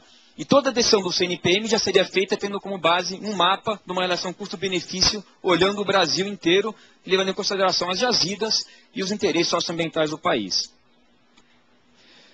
Eu pediria, por favor, eu, sou advogado, tenho uma dificuldade de trabalhar com PowerPoint assim. Eu queria mostrar essa imagem aqui para vocês. Isso aqui é lá no Vale do Ribeira. Isso aqui são comunidades quilombolas. Aqui, aqui, aqui. Isso que está em vermelho são interesses minerários, né? um nome genérico para requerimentos de pesquisa, autorizações de pesquisa, requerimentos de lavra ou concessões de lavra. Podemos ver aqui que essa comunidade quilombola, essa comunidade quilombola, essa comunidade quilombola estão inteiramente requeridas para fins de mineração. 100%. Essa outra aqui tem algumas partes, eu fiz uma seleção é, de um zoom, tem outros casos aqui no Vale do Ribeira, em outros lugares do país, muito semelhantes a esse. Diferentemente é, da, de terras indígenas, que a Constituição exige uma lei específica, não há lei específica para mineração em terras quilombolas. É esse código que tratará ou não tratará. A priori é possível, porque a utilidade pública, inclusive se sobrepondo à lei da Mata Atlântica e se sobrepondo ao Código Florestal. É razoável que isso aconteça, ou seja, é razoável que essa comunidade viva né, a sua vida inteira achando que pode ser que um dia tudo isso aqui se transforme em mineração, é possível, é razoável que possa se minerar em 100%, 80%, 90% de uma comunidade quilombola, dado o fato de que essa região que eles, que eles estão, há, nesse caso aqui, há séculos, e que não tem previsão de irem para outro lugar, isso tem que estar previsto na legislação. Tem que estar previsto na lei, mesmo na lei marco, que é direito dessas comunidades, aliás, como estabelece a Convenção 69 do OIT, de decidir sobre isso. Se, se a jazida tem rigidez locacional, o direito territorial dessas comunidades também. Elas têm o direito assegurado na Convenção 69 de decidir sobre isso. Ah, mas então já está na Convenção 69, não precisa estar na lei? Lógico que tem que estar. A Convenção existe justamente para que as leis nacionais a vão reproduzindo. Então, esses casos aqui, ou mesmo esse caso aqui, onde a mineração está em todo o entorno dela, é óbvio que eles têm que ter o direito de se manifestar sobre isso. Quero ou não quero, em que condições, como eu posso. Né? Você não pode estar apenas na mão do Estado, do DNPM, para os melhores técnicos que tenham no DNPM, ou Agência Nacional de Mineração, para decidir o que, que vai acontecer com a vida dessas pessoas aqui. Isso é um direito assegurado, mas é um direito que estar explícito na lei. Isso, nós não, isso não está. Tem que estar. O direito das comunidades quilombolas e outras comunidades tradicionais de se manifestarem sobre a, a, a, mineração dentro de suas terras ou no entorno imediato, já que, como muito bem foi colocado, a mineração não gera, não gera impacto só dentro da área de cava, mas também no seu entorno. Pode voltar para a apresentação, por favor? Bom, isso aqui é, um, é o Alto Vale do Ribeira, com as comunidades quilombolas e a quantidade de processos aqui já divididos por fases né, ali na região. Isso aqui me traz outra questão que o representante Ibama colocou, que é uma, uma preocupação grande nossa também, que é o como que o licenciamento ambiental vai estar dentro do processo de aprovação mineral. Isso não está explicitado e pode trazer muitos problemas. Ou seja, penso eu que no próprio marco você deveria ter um ponto, o local aonde o licenciamento ambiental vai ser feito. Hoje, né, fazendo um resumo aqui para todos, nós vamos ter um processo em que a, a CPRM vai fazer um processo de identificação de jazidas, me parece que mais acurado do que é hoje, de forma inclusive a identificar jazidas com alguma viabilidade né, clara, que possa ir a leilão, possa ir a licitação. Vai ser feita uma licitação, haverão concorrentes que apresentarão propostas com base naquele processo né, original que a CPRM identificou uma jazida viável. Feito, uma, feito propostas ao leilão, ganha-se uma proposta, vai ser feito um contrato de 30, 40 anos renovável por mais um tempo equivalente. Né? Esse, quem ganhar isso daí vai fazer a pesquisa e depois, se identificado que de fato há viabilidade e como vai ser feito, vai ser feita a exploração mineral. E não há previsão de onde vai estar o licenciamento ambiental. O mais provável, me parece, lendo do jeito que está lá, é que ele vai ser ao fim disso aí. Uma vez feito o contrato de concessão, vai ser feita a licença ambiental, uma vez feita a pesquisa, que é como é feito hoje. Só que aí nós vamos gerar uma pressão gigantesca no órgão ambiental, porque você já passou por uma série de fases dentro do Estado, você já tem um interessado que já fez já, já conseguiu empréstimo, apresentou uma calção, já tem interesse, já gastou dinheiro, né? ganhou uma licitação pública, chancelada pelo Estado, e depois um órgão ambiental que não será o IBAMA em regra, a grande imensa maioria dos licenciamentos de mineração no Brasil não são feitos pelo IBAMA, são feitos pelos órgãos estaduais. O órgão estadual vai ter que avaliar isso daí e falar, ah, mas aqui não pode, me desculpa, porque você está numa área de manancial, numa área importante, e aqui não vai, ter, não vai ser possível. Ou vai ter que ser de uma outra forma, porque o licenciamento ambiental pode fazer isso, não precisa dizer só sim ou não, mas pode dizer o como, principalmente ele diz o como. E ao alterar a forma como vai ser explorada, que pode afetar a quantidade de minério que vai ser extraída, o tempo que ele vai ser extraído, as técnicas utilizadas, você está alterando inclusive as condições é, econômico-financeiras que foram submetidas à licitação, é, foram submetidas a leilão. Nós temos que resolver isso. Você não podemos deixar o licenciamento no final, porque a pressão vai ser gigantesca sobre os órgãos ambientais e isso pode alterar muito a forma como vai ser feito o leilão. Então, no nosso entender, deveria estar previsto na lei que, essa, que esse licenciamento ele é feito, digamos assim, depois que a CPRM já fez a sua análise, obviamente, mas antes, antes, da, antes da licitação. E talvez para isso tivéssemos que quebrar o momento, ou seja, o, o pacote que está sob concessão em dois momentos. Talvez seja necessário quebrar a fase da pesquisa anterior, porque também não é possível se fazer, né, estava conversando aqui com, com o companheiro do IBAMA antes, é, não é possível se fazer um licenciamento bem feito sem ter uma pesquisa pronta, né, você tem que ter a pesquisa, aquela que vai dimensionar, inclusive, os impactos ambientais, que o licenciamento vai depois poder dizer se são altos, pequenos, como é que é, como que não é. Né? Então, talvez a pesquisa possa ser feita antes, o licenciamento antes do momento do leilão. Ou seja, assim como os outros modelos que o próprio MME já fez e foi citado aqui, que acho que são corretos nesse aspecto, ou seja, para o petróleo só se vai para o petróleo quando você já tem a viabilidade ambiental daquele poço.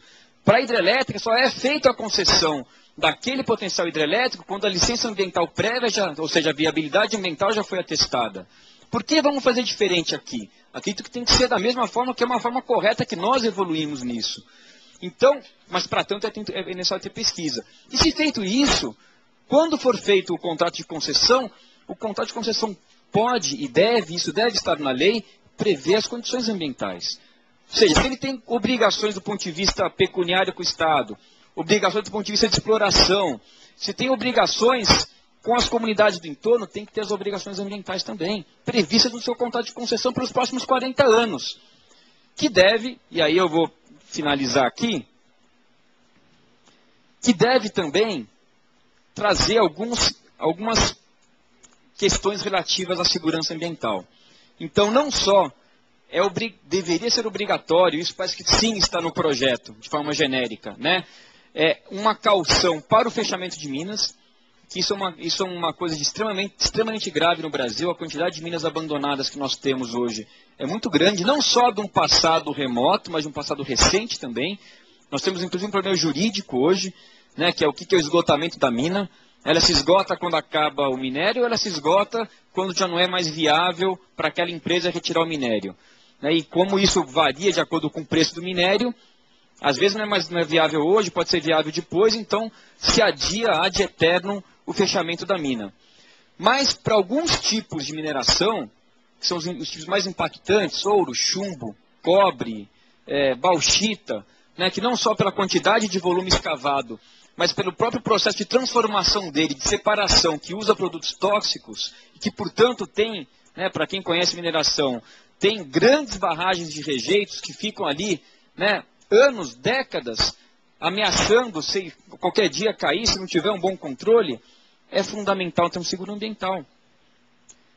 A licitação deveria exigir para esse tipo de mineração, sobretudo em áreas sensíveis, que qualquer um que ganhe aquele, aquele, aquela jazida seja obrigado a contratar um seguro ambiental. Por quê? Por duas razões. A primeira é que se houver o um acidente, que ninguém quer, haverá recursos suficientes para poder cobrir os prejuízos que muitas vezes aquela empresa não vai conseguir cobrir, sobretudo porque a grande parte né, dos rejeitos tóxicos vão, estar mais ao fim do processo de mineração, quando a empresa já não tem mais tanto capital e tanto interesse. Mas, sobretudo, e qualquer um que milita na área ambiental sabe disso, nós não queremos o acidente, queremos que não haja o acidente. Sabemos que o DNPM, que a agência, eu não sei bem como vai ser essa divisão, vão fiscalizar, né, mas sabemos que a fiscalização hoje é falha, não acredito que vai se melhorar né, substancialmente daqui para o futuro. a seguradora ambiental vai ser a maior interessada em que não tenha um acidente. Ela vai ser o principal fiscal se aquela empresa vai estar cumprindo com todos os requisitos estipulados na licença, nas normas técnicas de mineração, para que não haja um acidente, porque ela, é o patrimônio dela, daquela seguradora, que está em risco. E, portanto, ela será um importante auxiliar né, nos órgãos de fiscalização ambiental, nos órgãos de fiscalização mineral, para que não haja o acidente ambiental. Meu tempo já acabou, acho que é isso, nós podemos conversar, fico à disposição. Obrigado. Obrigado, Raul do Vale. Bem, nossos expositores já, já fizeram a sua parte, agora nós vamos direto aos deputados inscritos. Primeiro, a deputada Janete Capiverini. É, senhor presidente, deputado.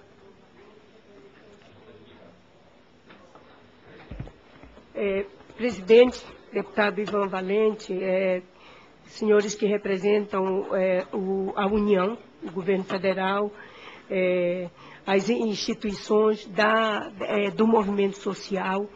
Eu quero, em primeiro lugar, dizer que essa é uma primeira reunião nessa casa aonde é ouvida a sociedade civil organizada. E isso é muito importante, porque nos traz um contraponto ao que está estabelecido é, aí como o, a definição do novo marco regulatório da mineração é, no nosso país. É, eu tive a oportunidade de participar da audiência onde o, o, ministro de Minas e Energia, Lobão, fez a, a sua exposição e tudo estava muito bem preparado já. E agora, nessa reunião, é, nós nessa reunião de audiência pública, nós vemos que foi apresentado, é, apresentado um, um, bloco de emendas necessárias para se observar é, a questão socioambiental nesse projeto. Na, naquela primeira reunião, o senhor participou, deputado Ivan Valente, é, foi manifestado pela maioria dos parlamentares que estavam ali a retirada da urgência para a tramitação é, dessa lei. E foi retirada a urgência, mas ela está aí, é, a previsão da sua votação é para o dia 15 do próximo mês, é como se tivesse continuado é, a urgência. E eu até me atrevo a fazer uma comparação aqui né, dessa retirada, é, dessa forma, da urgência do projeto né, na comissão especial, a o que é, o consultor do IBASE, Carlos Bittencourt, colocava aqui, né, que, é, segundo o modelo eleitoral vigente no nosso país, né, é tanto é, é, no, nos partidos políticos é, que a gente é, quer que aconteça uma reforma eleitoral e ela não acontece. Né, tá, ontem estávamos é, debatendo aí a, a, a, votação de uma mini reforma. A cada eleição acontece isso aqui dentro e não se vota efetivamente uma reforma eleitoral e que está relacionada com o que o Carlos Bittencourt coloca aí né, sobre a composição da comissão especial, como se deu a eleição desses parlamentares, qual é o compromisso com a população brasileira que ah, é, os parlamentares que compõem a comissão especial, e principalmente presidência e relatoria, têm. Isso aconteceu é, quando da tramitação do Código Florestal nesta casa também. É, a, a aprovação é, apesar de, dos vários debates promovidos, é, e principalmente pela Comissão de Meio Ambiente, nós temos que admitir, o deputado Sarney Filho, ele provoca, ele promove né, o debate sobre a questão ambiental e que é importante para a população brasileira. Uma preocupação é, que, que eu trago aqui é, é assim, a necessidade urgente que o governo brasileiro mude né, o, o, modelo de desenvolvimento, porque em nome do desenvolvimentismo né, estão, é, estão aí vários males que a população brasileira, a população da região amazônica, que é 60% do território é, brasileiro, viverá, e aí está a, a, na comissão especial que debate é, a, a, mineração em terra indígena, né, é, é, caminhando, eu acredito até que está caminhando para e passo com a tramitação do Código da Mineração, e aí já vai ficar tudo resolvido. A maior parte das terras na região amazônica, é, a maior parte, aliás, das comunidades indígenas no nosso país, ela está na região amazônica. É muito preocupante, meu jovem coordenador de mineração, aí, obra civil do IBAMA, né, o, o Marcel Stener, é, aí, né, vocês que representam o, o governo. Então, é, a exportação de natureza, é, é ela continua e ela vem sendo chancelada pela aprovação de um código florestal e que agora caminha para a aprovação de um código é, da mineração. Eu te, tenho umas perguntas, umas questões que eu quero de, eh, colocar aí para a mesa. Como ficam as áreas sobre as quais incidem requerimentos para atividade minerária vão ser disponibilizadas para licitação, vão ser distribuídas por ordem de pedido, de requerimento, e aí eu é, quero colocar aqui uma informação é, que eu, eu obtive essa informação essa semana e me assustou. Né? É, o Ministério Público Federal constatou 500 requerimentos é, de mineração ao DNPM em terras indígenas no Amapá, o extremo norte do Brasil. É, ali é, não existe conflito o, o, o, advogado do ISA, o Raul, sabe que é tranquila a, a questão da demarcação de terra, né, é, de indígenas, não só no Amapá, mas a fronteira, o norte do Pará, o parque de, é, de. E aí, com, é, é aí eu vejo 500 requerimentos de mineração ao DNPM, é, determinando, é, e o Ministério Público provisoriamente determinou a imediata suspensão de qualquer autorização. Eu não sei se vocês têm informação sobre isso, eu gostaria é, de saber mais. Né?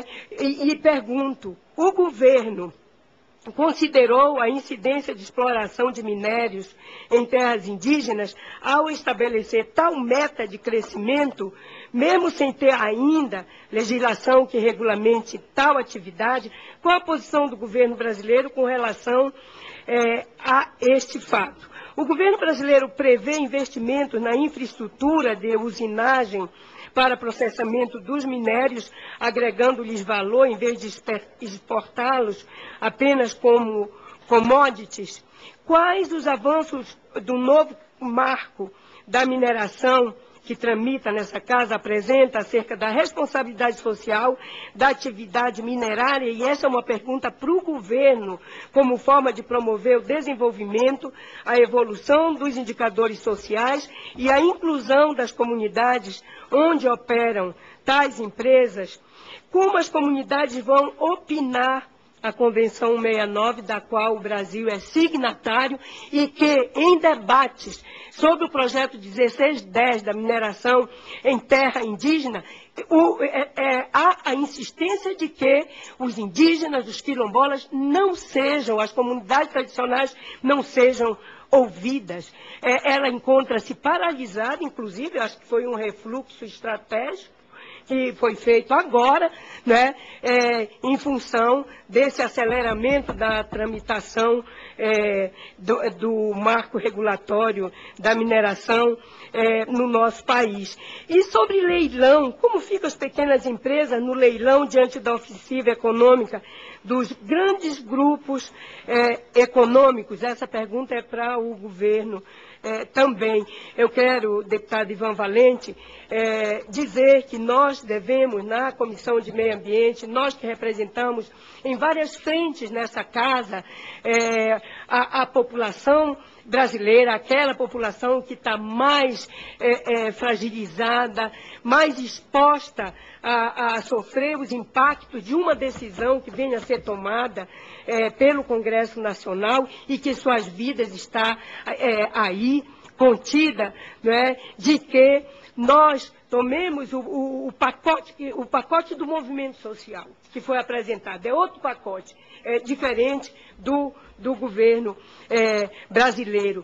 E comecemos o debate em várias frentes é, que nós participamos nessa casa, é na frente é, dos direitos humanos, em que se transformou a Comissão dos Direitos Humanos dessa casa, é na frente é, de parlamentar de apoio aos povos indígenas, enfim, é, eu, eu, eu, nesse momento é, eu me preocupo muitíssimo, porque eu venho de um estado, o Amapá, onde uma empresa durante 50, mineral, minerária, durante 50 anos, explorou o minério de manganês naquela, naquele estado, que hoje é o município que foi criado da Serra do Navio, e onde a população local, inclusive os povos indígenas do Ayampi, Raul, você conhece, você sabe, é, foram prejudicados né, por, por, pela mineração, da forma como se deu,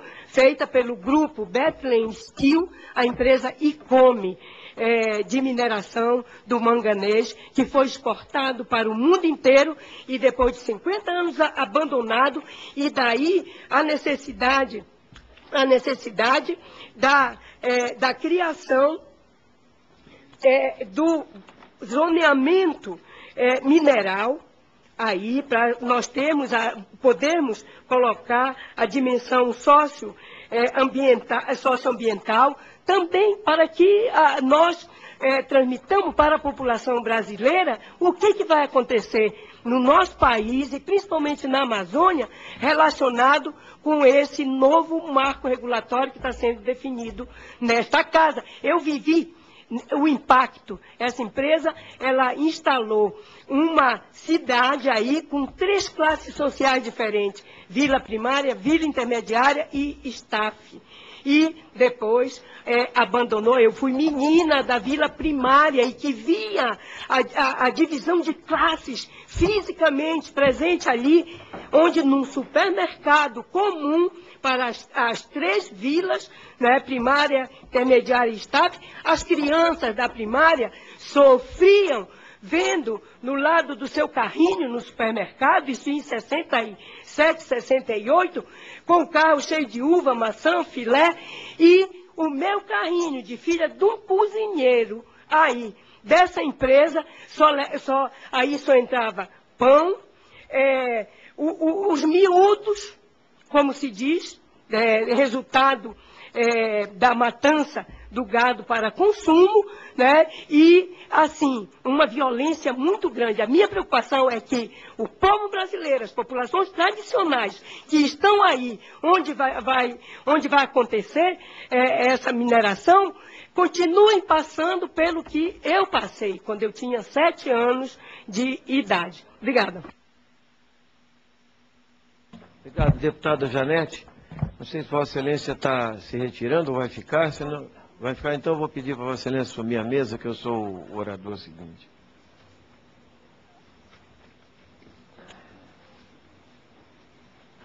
Depois, o deputado Chico Alencar.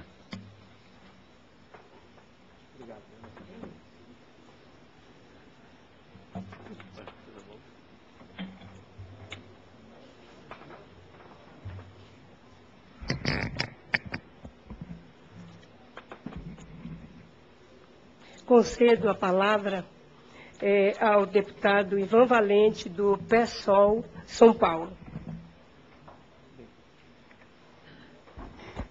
Boa tarde a todos e a todas. Queria agradecer a presença aí dos nossos debatedores, um debate muito rico, bastante é, fornido de informações e de é, é, boas sinalizações do debate é, queria começar, é, como nós temos um representante do governo aqui, do Ministério de Minas e Energia, eu acho que antes de discutir as questões ambientais, que são o tema dessa comissão, né, é, na verdade, o debate da mineração, assim como o Código Florestal, o Código da Mineração, eles são debates estratégicos para o Brasil. E eles não vêm revestidos dessa é, áurea, entende? É, parece mais um projetinho que está passando aí, e, é, onde não existe a visão de planejamento estratégico da nação. Por que, que eu digo isso? Pelo seguinte, se você tem uma biodiversidade como a brasileira, né, se você tem uma área preservada como a brasileira frente à realidade mundial, você tem uma vantagem comparativa internacional brutal né, num país subdesenvolvido ainda. Então, em vez de você pensar o debate do Código Florestal desse ponto de vista, você pensa da seguinte forma: vamos expandir a fronteira agrícola, passar a motosserra aí, criar gado, soja, exportar, entende? Fortalecer o modelo primário exportador, ou seja, reprimarizar o país. Eu, eu queria dizer que é nesse contexto que se, eh, se, se discute também a questão da mineração um país com as dimensões do Brasil, com a riqueza mineral. Então, é interessante que é, o projeto venha primeiro com urgência, com urgência e, e tirar da urgência constitucional com pressa, como se disse, né? Ou seja, em vez de a gente discutir essa questão com a, a, a profundidade que o assunto merece, né, é, nós precisamos agilizar porque o Brasil precisa andar, né, o Brasil precisa crescer, precisa utilizar a sua riqueza rapidamente para acumular. Né. É num país que gasta é, 48% do seu orçamento pagando juros da dívida pública. Né? Então, não se, não se tem um planejamento estratégico. Então, eu queria começar com isso. Eu diria que aqui nós estamos discutindo política de Estado. Então, dialogando com o Marcel, o Marcel Steiner, é do Ministério, eu diria o seguinte, para mim, o projeto já vem realmente com a lógica da privatização. Mas é exatamente essa lógica que eu quero combater. Eu começo por aí. Eu fui contra a estatização da Vale, né? É, apresentei um projeto de plebiscito sobre a Vale para discutir com a população se ela queria é, privatizar, se, é, queria que a Vale fosse privatizada, e não sei se vocês sabem que todas as pesquisas de opinião da época deram esmagadora maioria da população contra. Porque a Vale tinha uma, uma questão simbólica do subsolo brasileiro. Ela é a representação do que representa o subsolo brasileiro. Uma das maiores mineradoras do mundo, super lucrativa, eficiente e foi privatizada na onda neoliberal. Pelo valor de 3,3 bilhões na época de reais e depois com um valor de mercado de 200 bilhões. Alguns dizem, mas a Vale ainda é estatal, os, os, os, os fundos de pensão estão aí, entendeu? e tal, como se as decisões fossem tomadas né, a partir de, um, de uma cabeça de planejamento estratégico estatal. Né? Aliás, ela teve para ser vendida pela X, a, a X-Trata para se tornar a, a segunda maior mineradora do mundo por um fio para ter decisões internacionalizadas. Não foi, mas podia ter sido. Né? Então, eu estou colocando esse exemplo só para. E, e para analisar a Vale de hoje, você pode ter duas visões a, visão de fachada da Vale, é ambiental. Até o Sebastião Salgado fez uma homenagem à Vale, na exposição que ele tem em São Paulo hoje. O grande Sebastião Salgado, né? eu adoro. Né? No entanto, eu denunciei outro dia que a Vale tem um sistema de espionagem de 200 funcionários, entende? Contra movimentos sociais, entende? Seja o movimento trabalhadores sem terra, o movimento indígena e etc seja, é assim que pensa essa empresa hoje. Então, estou dando esse exemplo para a gente entender o seguinte. É, um dos nossos debatedores, agora já não me lembro, colocou sobre o problema do valor agregado. Assim, nós extraímos, né, ou nós exportamos muito é, produtos primários, commodities ou minerais, também, e qual é o valor agregado que tem? né? quer dizer, é muito pouco. Então, nós continuamos com o modelo agrário exportador né? e é, reprimarizante do país. Então, só por aí a gente deveria começar um debate estratégico. Mas quando a gente vê a composição do, da, da, comissão especial, quando nós vemos o, o volume de depoimentos que são dados nessas comissões e de interesses e o quórum delas, né, nós sabemos que o que está em jogo mesmo é, é, como é que vai ser liberada a lavra, né? quer dizer, como é que ah, vai ser exatamente é, feito o processo de concessões, etc. Né? Por exemplo, o projeto, até uma questão para a gente debater aqui, né? ele não se aplica às atuais concessões, mas apenas concessões futuras. E como é que fica o passivo? Né? O passivo ambiental? Essa é a pergunta que eu queria deixar aqui para vocês. Né? Em segundo lugar, né, é, nesse, nesse contexto todo, dialogando novamente ali com o Marcel, as licitações são feitas por chamada pública. Por exemplo, nós estamos fazendo as licitações do campo de Libra aí, é semelhante. O processo é semelhante. Né? Super questionado. Ontem mesmo nós entramos com um mandato uh, popular contra né, o processo de Libra. É, e, e, mais, feita pelo regime diferenciado de contratação. Também nós temos é, duras críticas, temos feito direto, é, é entendemos que esse, esse, processo de facilitório, né, quer dizer, gera é, muita corrupção num país que já é marcado pelo processo de aproveitamento e, e, e corrupção. Em terceiro lugar, queria colocar que ah, a lógica de área impactada e a lógica de eh, atividade altamente lucrativa. Altamente lucrativa. Eu acho que a atividade mineral ela tem essas duas características. Uma, altamente impactante, como já foi aqui colocado, né, em vários aspectos e tal, e ela é altamente lucrativa. Então, caberia, inclusive, o próprio debate é, sobre quanto, quanto de verdade, entende? Por exemplo, essa questão da CEFEM, a contribuição, né, o que mudou realmente? Eu, eu, essa é uma questão que nós vamos debater até o final, porque a impressão que passa é que cresceu os royalties, a alíquota e tal, mas não é, não, é, não é ainda certo que isso tenha acontecido. Nem isso tenha acontecido. Segundo, é, para quem vai atualmente a CEFEM? Entende? É para obras de infraestrutura, não é para recuperação ambiental. Não é para recuperação ambiental. Então, embora no papel, entende, hoje você, é, todo mundo assimila a ideia de que nós temos que computar o passivo e os impactos ambientais, etc., na hora de se direcionar o dinheiro, os recursos, para valer, essa questão não está decidida. Ela não está decidida, entende? E é, não quer dizer, como se diz, até 4% vai chegar em 4% e qual produto vai chegar em 4%. Então isso aí está tudo indefinido.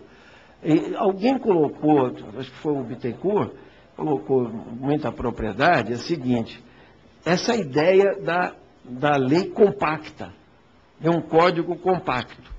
Né? Esse debate, viu, Chico, acho que a gente devia fazer com muito rigor. Então, porque ele, soa como algo moderno, digamos assim, né? mas se ele deixa brechas para que depois uma maioria parlamentar e o próprio governo execute sem a participação é, efetiva da sociedade, e aí eu entro direto da, na questão da oitiva das comunidades, entende, da, dos setores atingidos, é, no momento em que, inclusive, os ruralistas brasileiros, além da PEC 215, né, eles entram aqui com tudo no PL, é, PLC 227, que atinge, ou seja, é, é, como de relevante interesse público, todas as áreas de fronteira é, ligadas à hidrelétrica, áreas indígenas, Tá certo? Então, eles excluem né?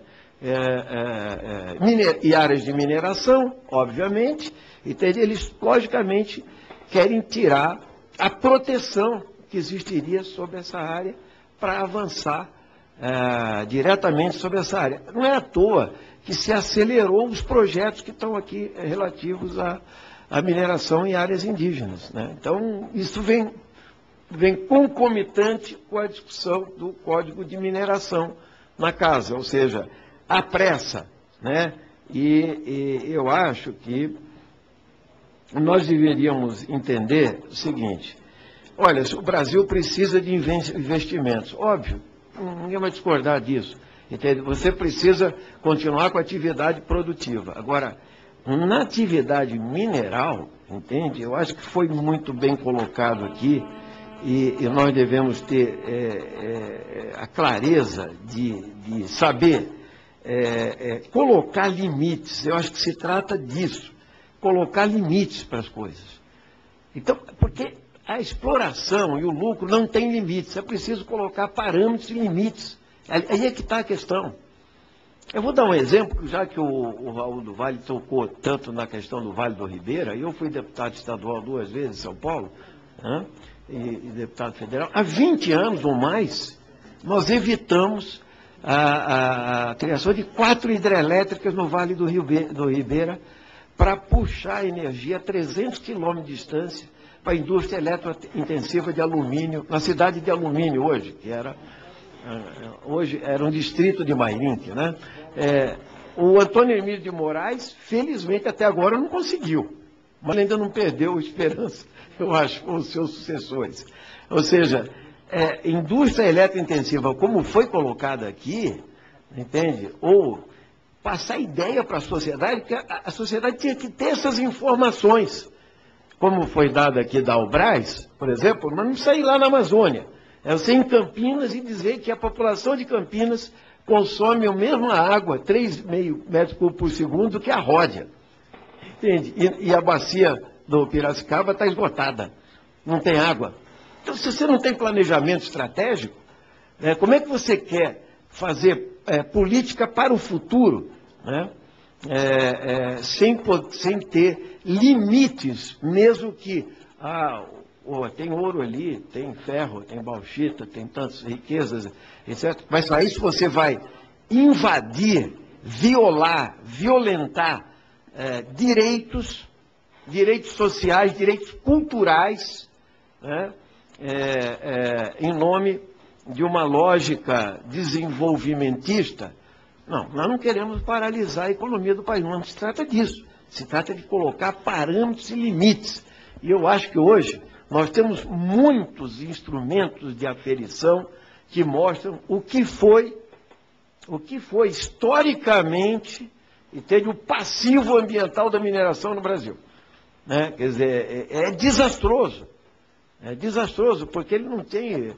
É, lógico que há tempos passados era mais difícil, etc., mas mesmo em, em tempos é, mais, mais modernos, mais atuais, a verdade é que nós não, não conseguimos é, é, controlar, e seja no tempo do regime militar, seja agora. Alguém colocou com muita propriedade, às vezes dá a impressão que era só no tempo do regime militar, mas as coisas continuam.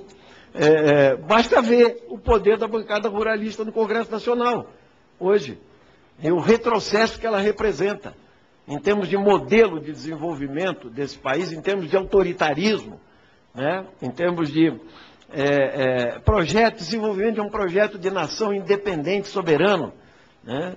e, e particularmente de participação popular. Como a gente costuma dizer, eu acho que as ruas não estão muito de acordo com esse projeto aí. Mas o poder econômico está. Entende? E aí reside o problema. Então, como é que nós vamos definir essa questão? Então, primeiro, acabar com o silêncio das comunidades impactadas. É preciso que elas sejam ouvidas. Segundo, é possível fazer um zoneamento, como já foi dito aqui. Mas isso é, isso é moderno, né? isso é atual. Isso é possível, é viável e necessário. Né? Eu também determino limites. É o que o Bittencourt chamou de taxas e ritmos de mineração. É, é evidente, entende? É como no petróleo. Quer dizer, a mesma coisa o campo de Libra. Por que, que, você, por que, que você tem que retirar o máximo de, de, de, de petróleo imediatamente para entregar para uma empresa é, norte-americana ou inglesa, entende? Para render mais, inclusive violando a lei de partilha que foi aprovada aqui. É, a mesma coisa vale para mineração.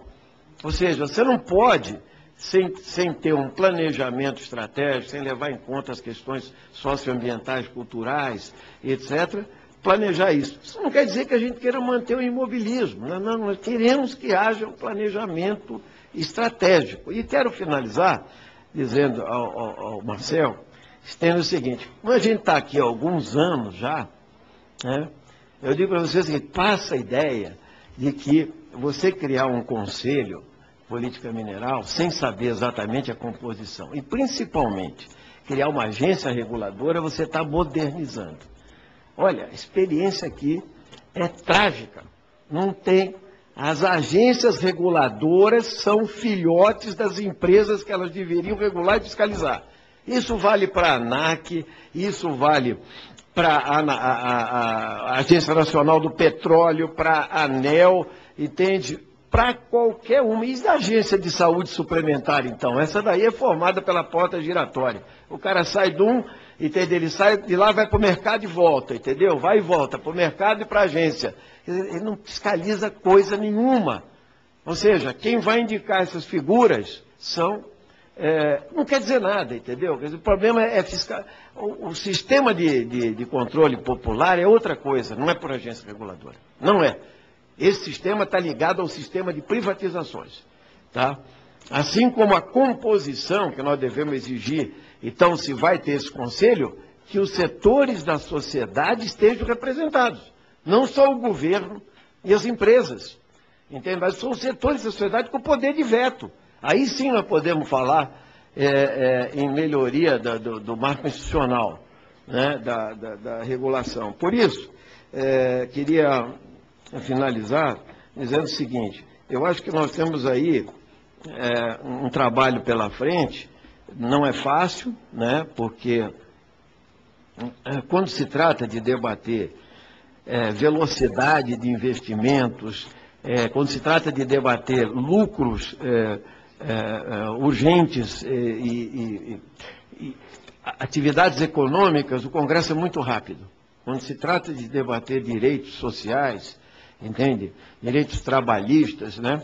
E, e, e aqui, inclusive, só, só para exemplificar, nossa assessoria parlamentar detectou uma questão, se houver caso de, de falência de, de, de, uma, de uma mina, o primeiro a receber é o, é o, é o capital financeiro, não são os trabalhadores.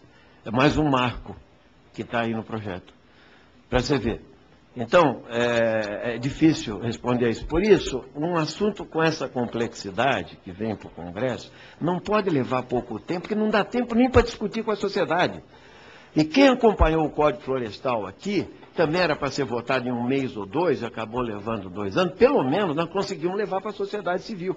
É verdade que eles ganharam no voto aqui, mas é verdade também que houve um processo de conscientização, de mobilização social, inclusive pelas redes sociais, que foram muito importantes para criar massa crítica, entende, para mudar corações e mentes. E a mineração, embora pareça uma coisa técnica lá e tal, ela tem tudo a ver, entende, com o modelo de Brasil que nós queremos, com participação, com democracia, com crescimento econômico, mas particularmente com garantia de sustentabilidade e de respeito aos direitos daqueles que ocupam essas terras há tantos anos, e desde tempos imemoriais, e as comunidades tradicionais. É isso que eu queria dizer. Obrigado, deputado Janete. Obrigada, deputado Ivan Valente. É, aqui inscritos tem é, quatro parlamentares, mas eu acredito que presente está o deputado Chico É, é, é, conceda a palavra ao deputado Chico Alencar, do PSOL, Rio de Janeiro. Eu vou pedir um privilégio à mesa, os nossos convidados, que colaboram tanto aqui. Só um momento, deputado. Pública, eu gostaria de, pelo avançado da hora, eu gostaria de solicitar às organizações que participam né, dessa plenária que encaminhem perguntas por escrito à mesa e, é, em seguida, ao deputado Chico Alencar é, haverá a palavra final de cada componente da mesa. Obrigada. Com a então, palavra. O privilégio que eu... Se puderem me responder primeiro, que eu tenho um compromisso lá no meu gabinete, tinha, né, meio-dia e meia. É, são duas questões. A partir de uma tendência verificável na comissão especial a votação ainda em meados de outubro, eles têm ampla maioria para realizá-la, creio que isso é até compromisso de governo, com o governo, e, e a tendência também forte de desconsiderar toda a questão ambiental tal como colocada aqui. Vigorar na elaboração da lei a visão meramente economicista. Isso é predominante lá e onde está o teu tesouro está o teu coração, a cabeça pensa de acordo com o lugar em que os pés pisam. Basta olhar o estudo excelente do IBASE e ver quem viabilizou economicamente as campanhas, financeiramente as campanhas dos componentes da comissão especial para ver para onde eles tendem a caminhar. Então, perguntas para os representantes aqui do governo, do IBAMA e do Ministério de Minas e Energia. Em primeiro lugar, o governo tem mesmo essa pressa? Quer aprovar isso ainda este ano? Em segundo lugar, qual a visão do governo em relação aos terríveis impactos ambientais e a falta de controle sobre eles que o projeto de lei tende a consagrar. E para os institutos e movimentos, as organizações não governamentais aqui, que perspectivas há de fazer essas questões tão graves que vocês trouxeram, que afetam tantas populações, gerarem mesmo um acúmulo de movimentos, de legítima pressão sobre o parlamento. A exemplo por, dos povos indígenas, que na terça-feira estarão aqui com pelo menos 1.500 representantes aguerridos para continuar uma luta. Então, os índios, como sempre, dando lições para o civilizado, de cidadania até, eles estão com um grau de mobilização muito grande. Infelizmente, não me parece ainda que nós tenhamos, claro, os partidos que têm é, essa perspectiva popular e participativa também têm sua responsabilidade, mas eu temo que a nossa massa crítica, para usar a expressão do deputado Ivan Valente, não seja tão grande e consiga reverter um cenário que se avizinha aí. Se vocês têm informações positivas, boas dessa mobilização, as dificuldades, as possibilidades, porque eu tenho uma convicção também. Sem essa presença e essa mobilização, a lei que vai sair vai ser muito ruim para o país, isto é, para a nossa gente.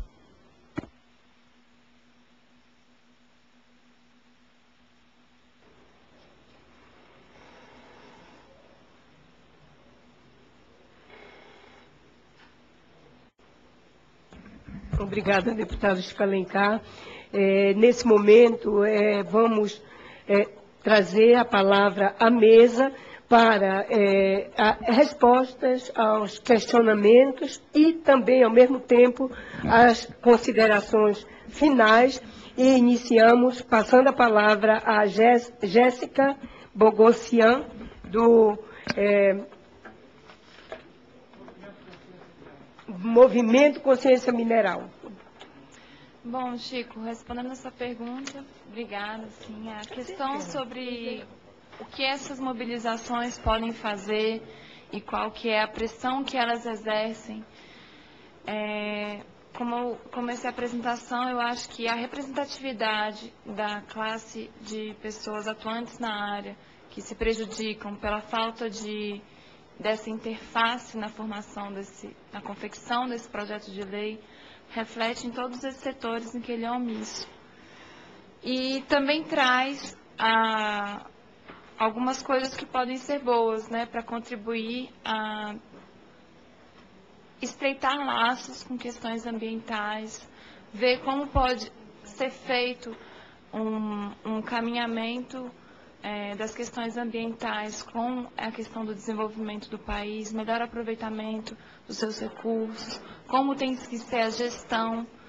Então, assim, é, essas mobilizações são importantes para isso, elas trazem isso à tona e tem toda a legitimidade da falta de representação de empresas ou qualquer outra filiação partidária, né? Assim, uma questão é, bem crua.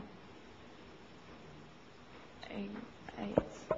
Eu acho que é isso que o Movimento Consciência Mineral tem a trazer para contribuir nesse processo. É, muito obrigada, Jéssica Bogossian, e nós agradecemos é, a participação é, de vocês através de requerimento que apresentamos aprovado no, na Comissão de Meio Ambiente. É, passo agora a palavra é, imediatamente, porque é, o palestrante terá que retornar ao seu estado, a Carlos Bittencourt, consultor do IBASE, Instituto Brasileiro de Análises Sociais e Econômicas, representando o senhor Sebastião Soares, presidente do, do Instituto, e também o IBASE, do IBASE da sua criação, é, participou o grande Betinho, né, grande é, brasileiro, é, lutador, que tem a continuação do seu trabalho através do, do seu trabalho também, entre outros. Carlos Bittencourt, você tem a palavra. Obrigado. É, então, para finalizar, vou começar por onde o Chico colocou e depois tratar de algumas questões. É, a gente na semana que vem, nos dias 1 e 2 de, de outubro, na próxima semana, a gente vai estar fazendo uma grande plenária do Comitê Nacional em Defesa dos Territórios frente à mineração, junto com a mobilização indígena, articulada com a Associação dos Povos Indígenas do Brasil, inclusive sobre o tema. A Associação dos Povos Indígenas do Brasil participa do Comitê Nacional é, dos em Defesa dos Territórios frente à mineração e a gente vem tentando construir o mais conjuntamente possível com essa mobilização. É óbvio que vai ser. Onde, qual é o endereço já? É... Nesse lugar aí, Divino Paraíso. É... Não, aqui em Brasília, aqui em Brasília. É... E também estamos programando uma nova plenária para próxima da data do dia 15, uma plenária, oficina, inclusive, de debate sobre o código, próximo ao período de votação, para caso a gente tenha que vir ao Congresso, fazer mobilização e tudo mais. É, existe um problema nesse debate, né? porque no Código Florestal você tinha um apelo óbvio, que é o apelo da preservação da floresta, isso é uma, uma defesa evidente, assim, né? E também era evidente a necessidade de avançar a fronteira agrícola, interesse dos ruralistas e tudo mais. O tema da mineração é um tema subterrâneo, literalmente, na história do Brasil, e isso tem inclusive vínculos históricos profundos. Assim, tem a ver porque às vezes falam que ah, o minério está num preço altíssimo, está 100 dólares uma tonelada. Esse é o preço altíssimo de hoje comparado quando ele era retirado de graça aqui do, dos nossos territórios. Então, há um problema de conscientizar as pessoas da importância que tem esse tema de vários pontos de vista, inclusive do estratégico, como dizia o deputado Ivan Valente.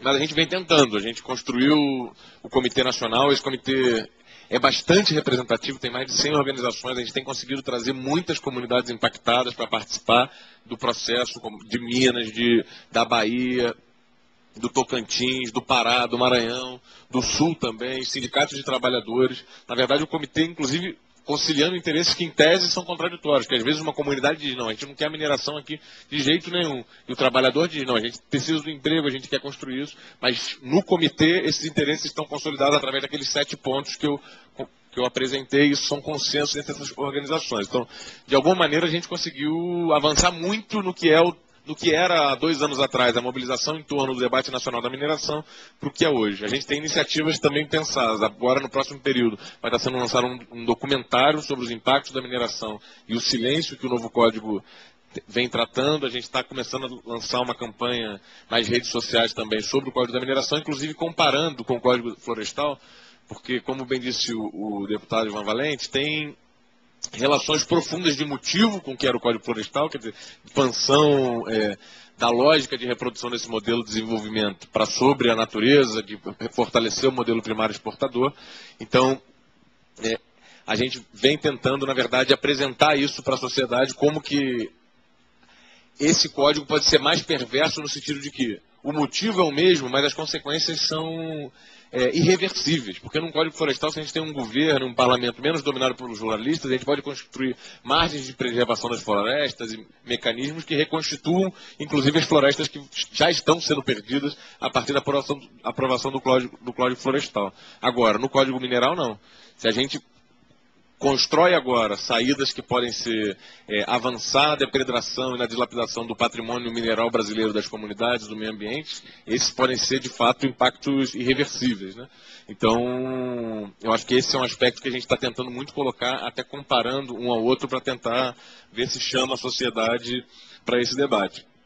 Mas só reforçar um aspecto para, inclusive, finalizar, de, desse debate mais estratégico nacional, que eu acho que também é muito caro principalmente para o IBASE. Nós do comitê, a gente tem esse viés de defesa das comunidades, mas também temos o debate, a questão das taxas e ritmos e tudo mais, é um elemento central de modelo estratégico que a gente quer seguir, porque hoje tudo está subordinado ao preço das commodities e alta lucratividade. Realmente tem um pesquisador da Universidade Federal de Juiz de Fora que veio analisando as taxas de lucro em diferentes setores no Brasil e, de fato, as taxas de lucro na mineração são muito maiores do que a média das taxas de lucro nos outros setores brasileiros. E aí, de fato, é, foi impressionante como o governo se tornou tímido no processo de taxação, porque a proposta original, e eu conversei muito, a gente, o Comitê Nacional tem um longo processo de constituição, a gente chamou o Cláudio Sclier, a Maria Amélia, que eram da comissão inicial, a Maria Amélia especialista no debate de royalties, é, ela é professora da Universidade do Pará e fez parte do governo durante um bom período na construção do projeto inicial, inclusive.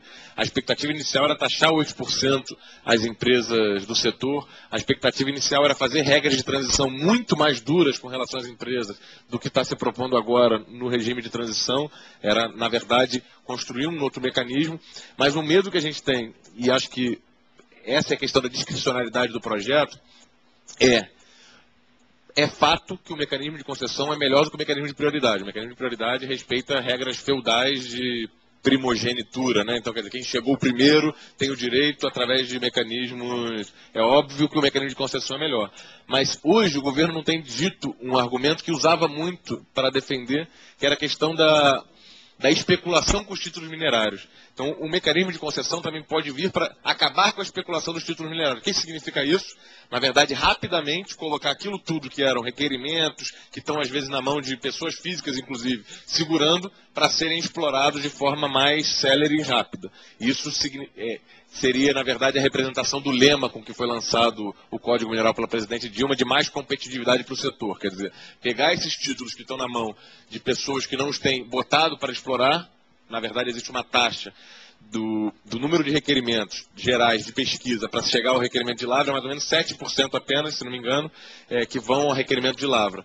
Um dos motivos iniciais para se modificar o regime de concessão é avançar para um processo de retirar esses, esses requerimentos da especulação e colocá-los para serem explorados. Isso, do nosso ponto de vista, significa romper com qualquer, qualquer lógica de planejamento, significa subordinar a lógica das empresas que é, o representante da Secretaria de Geologia e Mineração disse aqui e outros já, já disseram também que para nós é uma lógica que subordinará os territórios à natureza e será trágica de conjunto. É isso. É, muito obrigada, Carlos Bittencourt. É, eu passo é, imediatamente a palavra ao Jonatas Souza da Trindade, coordenador de mineração e obras civis do IBAMA, para res, eventuais respostas e para as considerações finais. Certo. Eu, é, inicialmente, eu gostaria de, de pedir para me posicionar como cidadão e não como representante do governo, apesar de estar como representante do governo aqui nessa mesa. Porque, como eu ocupo um cargo de baixo escalão, o meu posicionamento pode não ser o posicionamento do político, né, do, da instituição ou do ministério.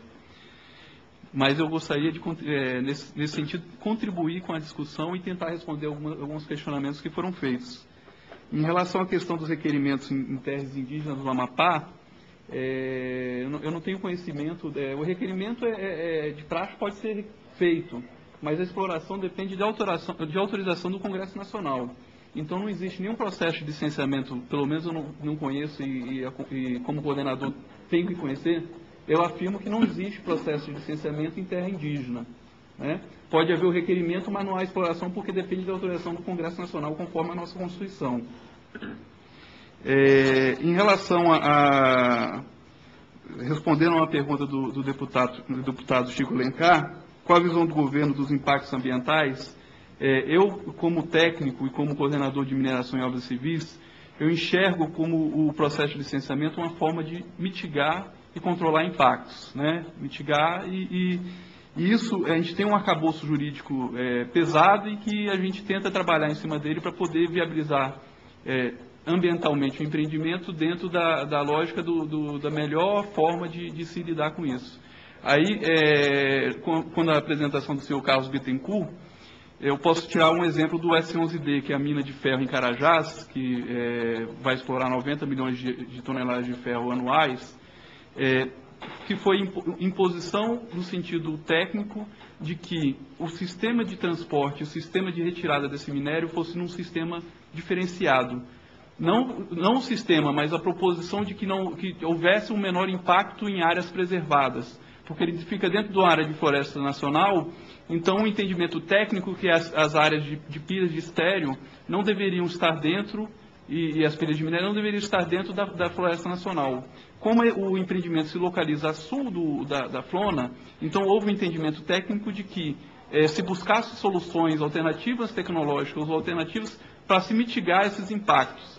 Então, nesse sentido, a Vale propôs a troca do, dos caminhões fora de estrada, que carregam até 400 toneladas de minério, e, e estabeleceu o, o, sistema chamado truckless, que é esse transporte é, que, que, carrega o minério para fora da, da, da, flora, da flora, da floresta nacional. Então, é, ao meu ver, o trabalho do IBAMA tem sido esse, de procurar melhorar os projetos procurando sempre as melhores soluções é, é, ambientais com vistas a, a, a, promover essa questão do, do, da viabilidade ambiental dos empreendimentos.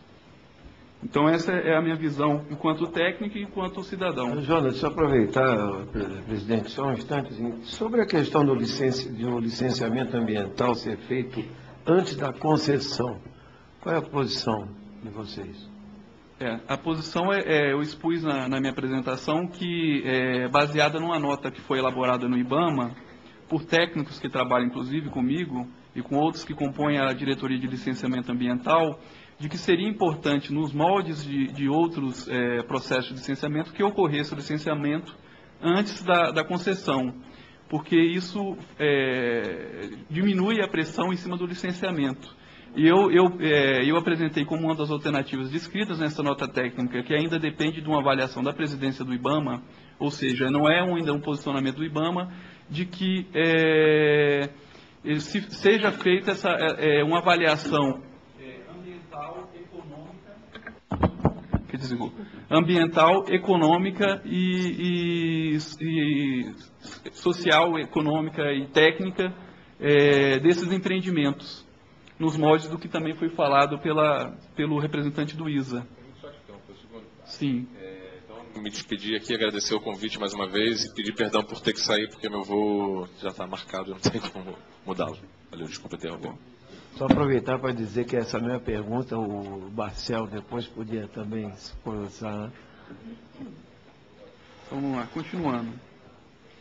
É, agora, uma opinião também, é, enquanto técnico e, e, de uma certa forma, a gente acaba estudando um pouquinho dessas, dessas considerações, é, considerando o, o cunho é, de importância da, da, de uma política de Estado, né, de você buscar uma política de Estado para a exploração desses bens minerais, é, existem vários aspectos que eu poderia colocar, mas eu acho que vou, vou resumir em relação ao seguinte aspecto que eu, que eu considero como importante. A avaliação da, da CEFEM, né, e a verificação da, dessa líquida, se realmente ela corresponde às expectativas de se mitigar impactos socioambientais.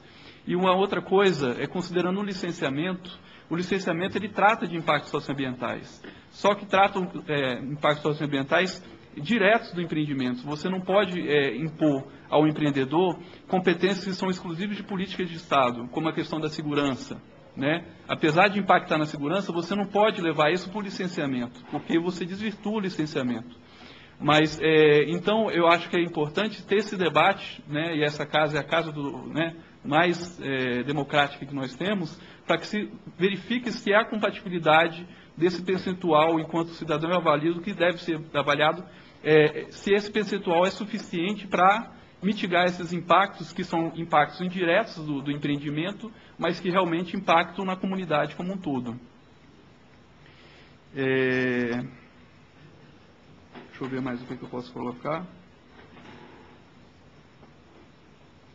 Eu acho que é isso. É, o IBAMA é um órgão executor da, da política, né? então nesse contexto é o licenciamento uma forma, uma ferramenta. É, ele, é um, ele, ele é um fim, mas é, é um meio, mas não é um fim da, da questão do, do, da, de mitigação desses impactos. A questão do, do, de um planejamento anterior, isso facilita e, e, diminui bastante a pressão sobre os órgãos ambientais e, e faz com que a, a, a, qualidade e o desenvolvimento do nosso país possa ser de uma forma mais sustentável. Acho que era isso que eu tinha contribuído.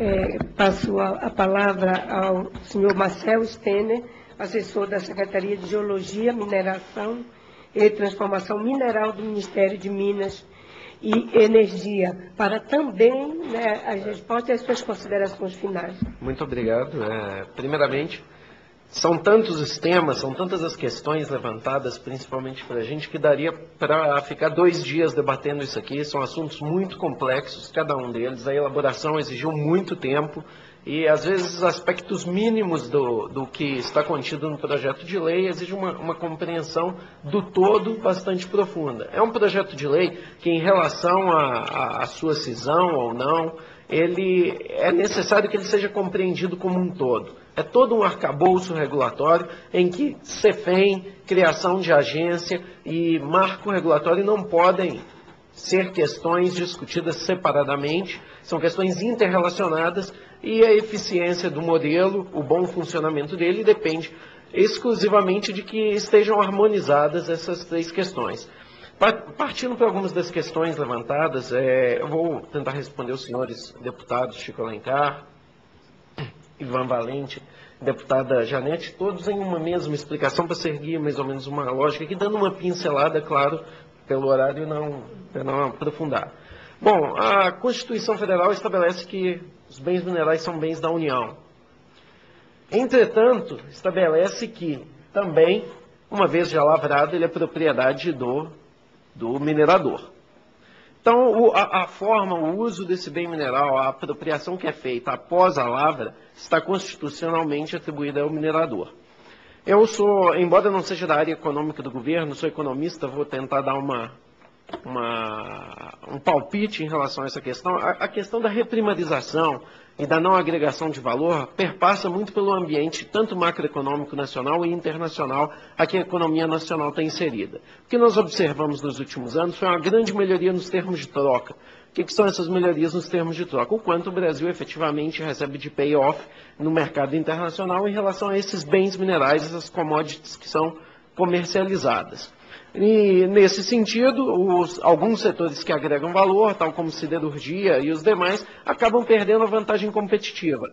Sendo o marco regulatório da, da mineração especificamente um marco regulatório que regula variáveis econômicas com o objetivo de garantir um ambiente saudável com condições efetivamente para a realização de investimentos e segurança para o poder público e a sociedade do, do, de um funcionamento eficiente desse mercado, ele se distancia um pouco da realização e da elaboração de política industrial para o setor. A questão, a questão da, da agregação de valor, ao, ao meu entender, ela é mais uma questão de política industrial do setor. Não menos importante, é uma questão que deve ser tratada. Acredito que até é uma questão muito influente no desenho de um marco regulatório que nós trabalhamos, mas que estamos discutindo no Congresso com a participação de todos, mas é uma questão de política industrial. Deve ser pensada de uma forma paralela, mas independente da questão de um marco regulatório da mineração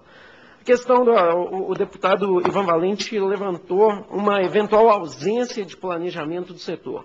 A ausência de planejamento é o que nós temos hoje. Ausência de planejamento é que temos com o segmento atual. Que nós tínhamos antigamente? Tinha um, um setor mineral e siderúrgico verticalizado, bastante integrado, na qual várias empresas estatais atuavam nesse, no, no setor e o governo, o Estado, tinha o papel de intervir diretamente na economia. Nesse cenário, um decreto de 1967, a lei atual vigente, cumpria seu papel, mesmo porque não havia grande necessidade de trazer instrumentos efetivamente de regulação de mercado. Agora, com, com a privatização de importantes segmentos da economia, a dinamização da, desses setores, surge a necessidade de se ter um outro arcabouço, que é esse algo na linha do que estamos propondo agora, que com essa nova realidade do mercado seja capaz de introduzir estes instrumentos de, de regulação econômica. O... Com relação ao planejamento, hoje o que aconteceu? Com a saída desse segmento, mão do Estado, e com a manutenção do código antigo, hoje não há. Quem chegar, pega a área, pode, inclusive, sentar na área e ocorrer os fenômenos igual de, de, especulação que o colega comentou. Não há necessidade de apresentar garantias, não há necessidade de apresentar garantia financeira, não há necessidade de apresentar garantia técnica, não precisa demonstrar que tem corpo técnico e nem, muito menos, que está efetivamente comprometido com a relação de eh, com a realização de investimentos nas áreas a que se propõe. O, nesse sentido, o projeto de lei, ao criar um Conselho Nacional que vai limitar as áreas onde vão ocorrer as chamadas públicas e também as licitações, há um ganho surpreendente na retomada do planejamento estatal. Nesse sentido, pode-se, inclusive, impor condicionantes até de política industrial na formulação dos contratos, podem se, se priorizar e, e dar tratamento diferenciado a regiões do país de acordo nesse Conselho Nacional que deverá reunir o, todas as esferas de, de, de influência no setor mineral, tanto ambiental quanto social e econômica. Então, acho sim que há um ganho de planejamento, não vai, não vai haver ausência de planejamento com a aprovação desse novo modelo. Outros, outras questões podem passar. Eu ouvi que há dúvidas sobre o processo de concessão. De forma bastante resumida, são três as formas de acesso à área. Essas formas de acesso à área seriam quais? Nas áreas definidas pelo CNPM, rodadas de licitação. Rodadas de licitação típica. Nas áreas não definidas pelo CNPM, fica válida o que está de, é, é, definido na lei como chamadas públicas. O que são as chamadas públicas? O privado, o agente privado que tem interesse, tem expertise no conhecimento de alguma área, tem tem a sua própria interpretação da possibilidade de haver minérios naquela área, indica ao poder concedente, indica ao Estado, a realização de chamada pública naquele, naquele ambiente, podendo o, o poder público realizar essas eventuais chamadas públicas. Em havendo a chamada pública, como ela funciona? Havendo um interessado, ele segue diretamente, sem passar pelo processo seletivo, para a assinatura do contrato de concessão, uma vez que já foi verificada a eventual possibilidade de concorrência, vislumbrou-se que só há um interessado e segue diretamente para a chamada pública.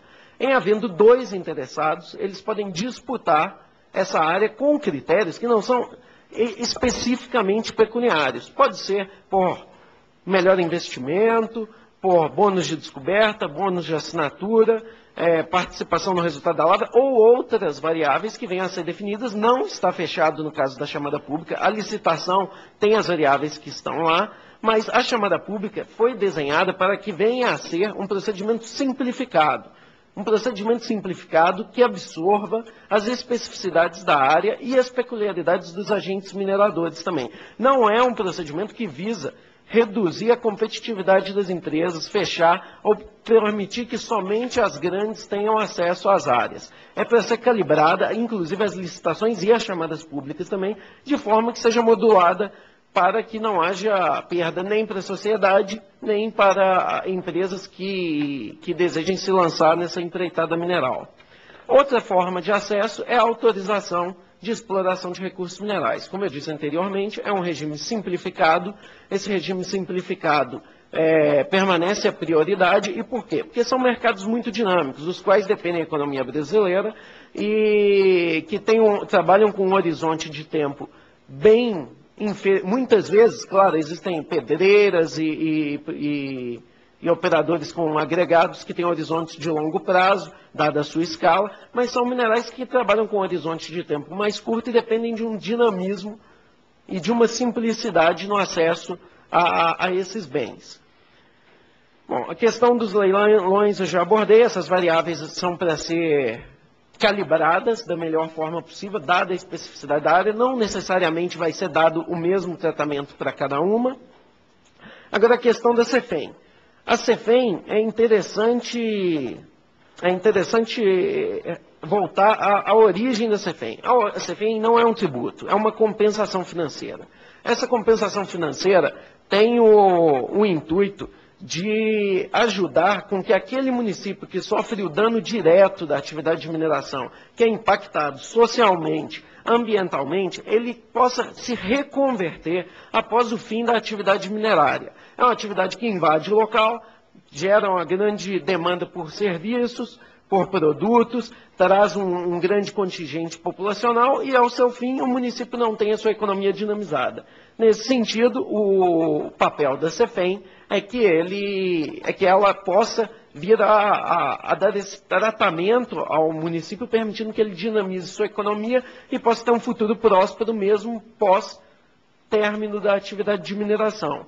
É importante ressaltar também que a Constituição Federal define que a CEFEM é devida ao município, ao Estado, a título de, da mineração ocorrer em seu território. Nesse sentido, a questão de municípios afetados, direto ou indiretamente pela atividade de mineração, é, esbarra nessa questão da CEFEM estar restrita ao impacto ocorrido no território. Está estabelecido em Constituição, por esse motivo, a, a proposta da CEFEM foi mantida da forma como se encontra no PL, com a distribuição atual entre município minerador, estados e, e União.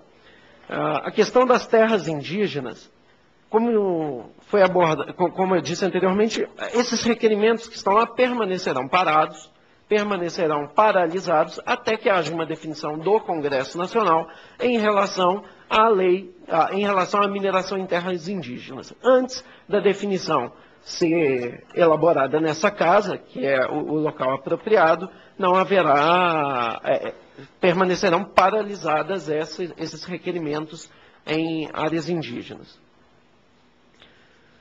Questão ambiental, questão do licenciamento, foi levantado como ficaria. Como eu disse anteriormente, é uma lei quadro, e sendo lei quadro, ela tem que estar atenta a todos os tipos de áreas que virem a ser ofertadas pelo poder concedente, nos três regimes anteriormente ditos. Em havendo licitação chamada pública, pode ocorrer casos em que essa área seja disponibilizada em uma fase inicial em que não há nenhuma informação para a efetiva realização de atividades de pesquisa, em que ela esteja em um estágio talvez mais avançado com dados de pesquisa, em caso a CPRM venha efetuar trabalhos nessas áreas, ressaltando que a CPRM, o modelo proposto no marco regulatório, não visa a substituição do setor privado na realização de pesquisa mineral pela CPRM. CPRM operará de forma similar a outros entes em outros setores, como a EPE e outros que são órgãos de inteligência interpretativo para ajudar que o poder concedente venha valorar e otimizar a, a disponibilização dessas áreas e, consequentemente, valorar o patrimônio dos brasileiros. O, com relação, voltando ao licenciamento, então, dessa forma, podem ser ofertadas áreas em que não há nenhuma informação e que dependam de licenças prévias e de autorizações ambientais, tanto para pesquisa ambiental, quanto para estágios mais avançados e para a, a, a, a concessão de lavra, numa jazida, um depósito que já esteja cubado, que é o linguajar técnico já definido, delimitado, pronto para se iniciar um, um projeto minerador, que vai depender de, de licença de, opera, de instalação e de operação. Sendo que as áreas não se sabe, a princípio, qual minério ou qual atividade será definida, será realizada lá, é impossível dizer, a princípio, que será concedida, vai, o, que, que será viabilizada licença prévia ou licença de operação, licença disso. O que será feito é o estudo, o pretende-se, embora não esteja na lei, que o poder concedente só venha a, a, a disponibilizar áreas, aquelas que estejam desimpedidas e que tenham sido alvo de algum estudo, de alguma avaliação ambiental, para que no futuro sejam, uma vez licitadas, aquele empreendedor tenha condições de dar prosseguimento à questão da, dos licenciamentos e das autorizações claro, contratualmente obrigado a, a estar adimplente com as obrigações estabelecidas pela lei ambiental e pelo, pelos órgãos ambientais competentes com as soluções que, que, que vierem a propor. Mas o licenciamento seria antes? Isso que eu quero saber, antes da concessão? Não, depende do, do momento da concessão. Como eu disse anteriormente, no caso uma, a área tá, não, não tem informação nenhuma. É uma área que vai para conhecimento geológico. Não tem como saber qual atividade. Então, não seria viável se providenciar licenciamentos nesse momento de licença de instalação, autorização de instalação, licença ambiental de, explora, de, de, de produção. Então, dessa forma, vai ter que ter um tratamento regulatório específico a cada perfil de áreas para dar para elas tratamento específico no momento em que forem ser concedidas. Ok? É, deixa eu ver se, se faltou mais alguma Vamos coisa. Acho que só isso. Ainda temos dois oradores aqui. Muito obrigado. Bem, obrigado, Marcelo. Você vê que ficou só quem está na mesa, né? A mesa é obrigada a ficar, porque não pode ficar sem mesa, né, Chico? Começou pelo Sarney, que foi, entregar, foi encontrar o prefeito. Eu sei que o pessoal não tem prefeito, então não é essa a questão. Falou. Bem, pessoal, você viu, o, o Marcel, só para, antes de passar a palavra aqui para para Jéssica Bogossian. O microfone está desligado. Não, tá ligado. Tá ligado? Antes de passar a palavra para pro, os dois últimos convidados nossos, a Jéssica e o Raul do Vale, não querendo polemizar, mas já polemizando, como diz aquele personagem Chaves, né? é, eu queria só dizer o seguinte, é óbvio que é, o modelo estratégico brasileiro, na minha opinião, né, ele é, não, não se modernizou aqui nesse processo. É, é, a, a visão de reprimarização, o modelo de desenvolvimento continua o mesmo. Então, veja, quando você diz que é política industrial, ah, o, o, valor agregado não é, é, é, a visão que você tenha do planejamento. Eu vou dar um exemplo. Se você exporta sacas de café para a Alemanha, tá? e depois a Alemanha industrializa um, um saquinho de café com valor dez vezes maior, né? Entende? Então, veja, é, o que, que vai acontecer? Você aqui vai ter que produzir mais café para produzir o mesmo valor, está entendendo? E em, em, vez de instalar, não é só a política industrial, é o planejamento. Que aí tem todo o problema do planejamento do campo, da política agrícola, da política agrária junto. Exato, vale a mesma coisa. Entende? Então, a verdade é que a pressão econômica é verdade que o marco regulatório, ele avança em algumas coisas, como já foi dito aqui na mesa, você mesmo colocou muito bem. Né? É, é, é, evidente que eu cheguei primeiro, então eu quero lá, a mina é minha, entendeu? Isso, isso é um processo, é, é, descobrimento do Brasil, vamos dizer assim, né? Agora, é, isso não basta, né? É mais do que isso aí. Mas isso é para, como você disse mesmo, falta, nós precisamos debater bem mais.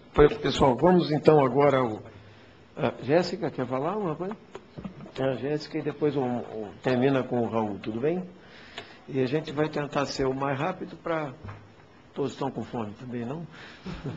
Bom, não, aqui, Jéssica, mas não maneira... se iniba não, tá? Não. De maneira bem breve, assim. Queria agradecer aqui a todos que participaram do Movimento Consciência Mineral. Ontem é, aconteceu uma manifestação então, teve grande contribuição dos estudantes da Universidade de Brasília e creio que boa repercussão também. É, essa, como o movimento Consciência Mineral, a, principal questionamento e preocupação é em relação à retirada do direito de prioridade, que na nossa visão isso sim atrava a evolução do conhecimento geológico do país, evolução do desenvolvimento e da base da cadeia do setor que é, faz parte de uma hierarquia como qualquer outra da natureza, né? Tem uma base, tem uma pessoa, as pessoas da base que fazem um tipo de serviço, as, as, empresas grandes que fazem outro tipo de serviço, e eu, assim como outras pessoas que participam aqui, que somos, é, que estamos ativos, assim, que participamos de empresas de mineração, sabemos como é, como acontece, qual é a interação da sociedade, das pequenas empresas, da interação que ela, que ela faz com sociedades onde vai, do, das oportunidades que cria, do envolvimento socioambiental e da evolução dessa, dessa interação e com a mineração e com o desenvolvimento. É a ideia de se crescer nesses, nesses conceitos de maneira conjunta e o mais é, palpável possível. E é isso, queria agradecer a todos. Obrigada. Jéssica Bogossian, representante do Movimento Consciência Mineral. Por fim, agora o Raul do Vale, nosso Instituto Socioambiental, para finalizar, depois os encaminhamentos finais. Muito bem, vou tentar ser bem breve mesmo, porque não temos mais muita gente na audiência e só o deputado Ivan Valente aqui. É, mas eu queria chamar a atenção, deputado, um ponto que até você levantou, é, e eu gostei muito da apresentação o Marcel, acho que foi bastante esclarecedora, eu, embora conhecia boa parte dos pontos, mas acho que esse diálogo é importante, mesmo que tardio. É, mas uma coisa que me chama atenção nesse projeto, é, e eu como cidadão é, não posso concordar, é que várias vezes você falou o seguinte, Marcel, olha, isso não está no projeto, mas nossa intenção é não sei o quê. Ah, isso não está lá, mas a gente vai fazer não sei o que lá. Ah, mas isso não está previsto, mas fica tranquilo que a gente vai resolver. Né? É, nós tivemos a oportunidade, diante do projeto ser encaminhado ao Congresso Nacional, de ser recebido é, na Secretaria-Geral da Presidência, estávamos demandando informação sobre o projeto, que sabíamos que já estava em fase adiantada de elaboração, há quatro anos, três, quatro anos estava sendo elaborado, é, e naquela época, sem conhecer o texto, mas já era mais ou menos a mesma, a mesma conversa. Não, olha, fica tranquilo, porque a gente resolve aqui. É, eu sou advogado, sou economista, sou advogado. É, e o advogado sabe que é, um, um, dos pilares do Estado Democrático de Direito é justamente não depender é, é, da discricionariedade do governante de plantão. Né? Então eu sei que tem algumas decisões estratégicas é, que não devem estar amarradas na lei, mas isso é uma coisa, isso é um ponto de vista econômico. Ah, bom, a lei não pode dizer qual que é o mineral que tem que ser explorado, né? E, a, e talvez o royalty para cada mineral está fixado na lei possa ser equivocado mesmo, porque isso tem a ver com taxa de extração, tem a ver com política industrial, tem a ver com política industrial. Ou seja, não, não, esse debate não pode ser discutido separado na política industrial. Eu, enquanto cidadão, não consigo conceber como isso pode acontecer né? Entendo que é um marco da mineração, mas isso está dentro de um projeto de país, um projeto de indústria. De indústria né? É, mas voltando ao ponto, é, esse projeto é excessivamente lacônico em questões que são fundamentais para garantias, não só as empresas, penso que elas devem ter suas reclamações, mas a sociedade. Né? Então eu não posso aceitar, não te conheço, acredito que você tem a maior boa vontade, as pessoas com quem eu conversei no Centro de Minas e Energia também olho nos olhos delas e vejo que tem a maior boa vontade, mas vocês passarão, esse marco ficará. E não podemos ter, então, a garantia é, da palavra de quem está aqui hoje, de que a dimensão socioambiental, por exemplo, vai ser levada em consideração. Ou seja, não, eu quero um zoneamento mineral. Eu não quero que, que aquelas pessoas que daqui a 15 anos vão estar na CNPM, sejam elas quem forem, boas ou ruins, inteligentes ou não, comprometidos ou não com, com os valores que eu tenho, que decidam da cabeça delas isso. Eu quero que elas tenham um, um mapa que diga o seguinte, olha, aqui não, aqui não, aqui não. E que esse mapa seja discutido com o Brasil inteiro, que leve em consideração o interesse, sim, mineral, de quais são as jazidas importantes, o Carajás, imaginando que em qualquer mapa estaria lá, porque, poxa, uma jazida gigantesca, digamos, essa sim é uma jazida que quase que não há dúvidas. E aí você cai no licenciamento, que faz isso, ah, como que eu vou fazer? Qual é o menor impacto possível, já que eu vou fazer isso aqui? Eu não discuto se eu vou fazer aqui, está decidido. Mas isso não pode ser para todos os casos, tem que ter casos que não vai ser feito, e não vai ser no licenciamento que vai ser resolvido, porque o licenciamento, naturalmente, vai perguntar, bom, como que eu minimizo esse impacto? Mas ele já parte do pressuposto, né, salvo exceções, estou dentro de uma estação ecológica, né? Vou fazer, minerar granito no, no, Cristo Redentor, não vai rolar, mas fora isso, entendeu? Não pode estar na cabeça de novo daí de um gestor público, de um órgão ambiental, decidir se é ou não é possível extrair granito aqui. Granito não é um mau, mau exemplo, mas extrair ou não extrair ouro, extrair ou não extrair bauxita, extrair ou não extrair manganês aqui. Né? Então, um zoneamento é fundamental porque dá segurança, segurança para todo mundo. E não vai ficar, assim como outros pontos do projeto, a depender da vontade de quem estiver no cargo e na gerência do sistema naquele momento. Então, esse é um ponto, deputado, que me chama a atenção. Ou seja, eu não, não acho que tem que ser um projeto extensíssimo, que tem que descer em detalhes, e concordo que não, mas ele está excessivamente lacônico. Isso gera insegurança a nós, sociedade, que no futuro próximo, no futuro longínquo, não temos nenhuma segurança de quem vai estar lá, vai ter a mesma boa vontade que você está estrelando aqui, de que a dimensão socioambiental e outras questões importantes vão estar asseguradas. Então, eu acho que sim é fundamental é, ter um zoneamento, ele ajuda o licenciamento, é, é, mesmo nos regimes diferentes, ou seja, ele vai ajudar tanto no sistema vamos chamar o mais complexo, em que a CNPM vai definir, como nas chamadas públicas, né? O zoneamento ajuda isso. Agora, o licenciamento tem que estar pelo menos previsto onde vai ser. Então tem que, tem que encaminhar uma solução, porque hoje não está encaminhada. Ela não está encaminhada. Né? Eu acho que é essa coisa que vai depender, porque alguns casos até acham estranho. Como que nós como podemos fazer uma concessão Né, o Estado faz uma concessão de 40 anos a alguém, em caso que nem sei se tem viabilidade econômica, é, é, eu confesso que é difícil até de entender como isso pode acontecer, mas mais, como é que eu posso fazer uma concessão de algo que é inviável ambientalmente? Então, me parece que é claro que você tem que ter o licenciamento em algum momento antes. Pode ser que a gente vá ter situações diferentes, né, que eu vou pedir, começar o processo com menos ou mais informação, mas isso tem que estar encaminhado. Quem vai decidir isso é o CONAMA? O CONAMA decidirá isso, é a agência de regulatória que vai decidir, vai ser feita uma forma conjunta, né, que dependendo do nível de informação inicial que se decide em que momento que vai ser feito o licenciamento, no mínimo isso tem que estar encaminhado no projeto. Se não definido exatamente, acho que não é o papel um projeto de lei definir né, o detalhe, mas ele tem que encaminhar. Né, e, e isso eu vejo que não está encaminhado. E, e, por fim, eu queria aqui de novo voltar ao ponto de que eu discordo, é, discordo de que a Constituição tenha colocado um limite, uma marra, a reconhecer quem é impactado. Né? Ou seja, o município minerador não é igual ao município impactado e a CEFEM é para quem sofre impacto, não para quem retira o minério. A lógica da CEFEM sempre foi e deve continuar sendo compensar os impactos da mineração. Isso não é igual necessariamente ao município minerador. O município minerador é onde eu estou tirando minério. Muitas vezes o que menos impacto tem, o que mais vai se, que mais vai se beneficiar. Né? Porque ali vai ter talvez algum dinamismo econômico no local da cava. Né? Agora, os impactos daqueles municípios que estão na linha, né, de, vamos chamar, na linha de transmissão do negócio mineral, eles são municípios impactados diretamente, não estou nem dizendo dos indiretos, porque eu concordo contigo, né?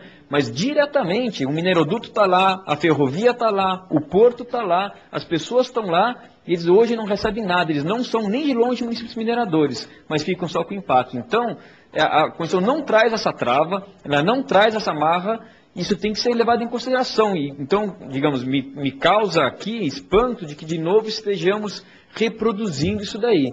É, nós temos hoje, eu cheguei a falar, para finalizar, deputado, falei na, na, audiência em que eu já tive a oportunidade de falar, e eu volto a dizer aqui, eu acho que foi aqui colocado, é, nós temos hoje um, um problema sério, que é o seguinte, a CEFEM é entendida como tributo por quem o recebe, embora não seja na sua origem. Ela era uma compensação, ela era uma previsão de compensar impactos atuais, que não são compensados com aumento de arrecadação, né, pelo, pelo aumento do dinamismo, porque a, a, mineração tem uma relação diferente de outros setores da economia, em que cada real da mineração não significa mais tantos empregos e tantos reais na localidade, é uma situação, tem uma coisa inerente à mineração, pode ser mais, pode ser menos, vamos verticalizar, assim, você tem como resolver isso, mas digamos, a mineração em si tem essa característica, a razão pela qual foi criada a CEFEM, é diferente falar o seguinte, ah, olha, agora vem uma grande rede de supermercados aqui. Ninguém fica discutindo compensação da rede. Por que não? Porque, bom, ela vai gerar emprego, vai gerar dinamismo econômico,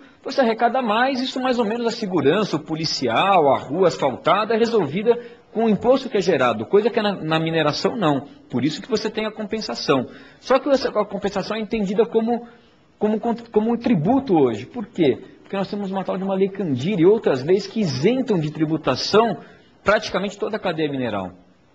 E, portanto, os municípios se veem obrigados a utilizar aquela, o que seria uma compensação, que era um olhar para o futuro, inclusive, imediatamente para pagar salário de escola, o que é ridículo, o que é um absurdo. Né? Então, a discussão da mineração deveria estar também dentro de uma discussão de política tributária brasileira, que tem a ver com a política industrial, que tem a ver com a política econômica. Por que, que nós isentamos praticamente toda a cadeia da mineração de tributos? Por quê? Isso é um modelo econômico, o deputado colocou bem isso aqui. Né? Então nós temos que discutir isso, ou seja, não adianta a gente ficar tapando o sol com a peneira e tentar né, enfiar dedo nos buracos do dique, porque a, você pode aumentar para 8%, para 10% a CEFEM, agora, se você continuar tendo isenção quase total de tributos, ela vai continuar sendo para pagar né, salário de professor, quando essa não é a função dela.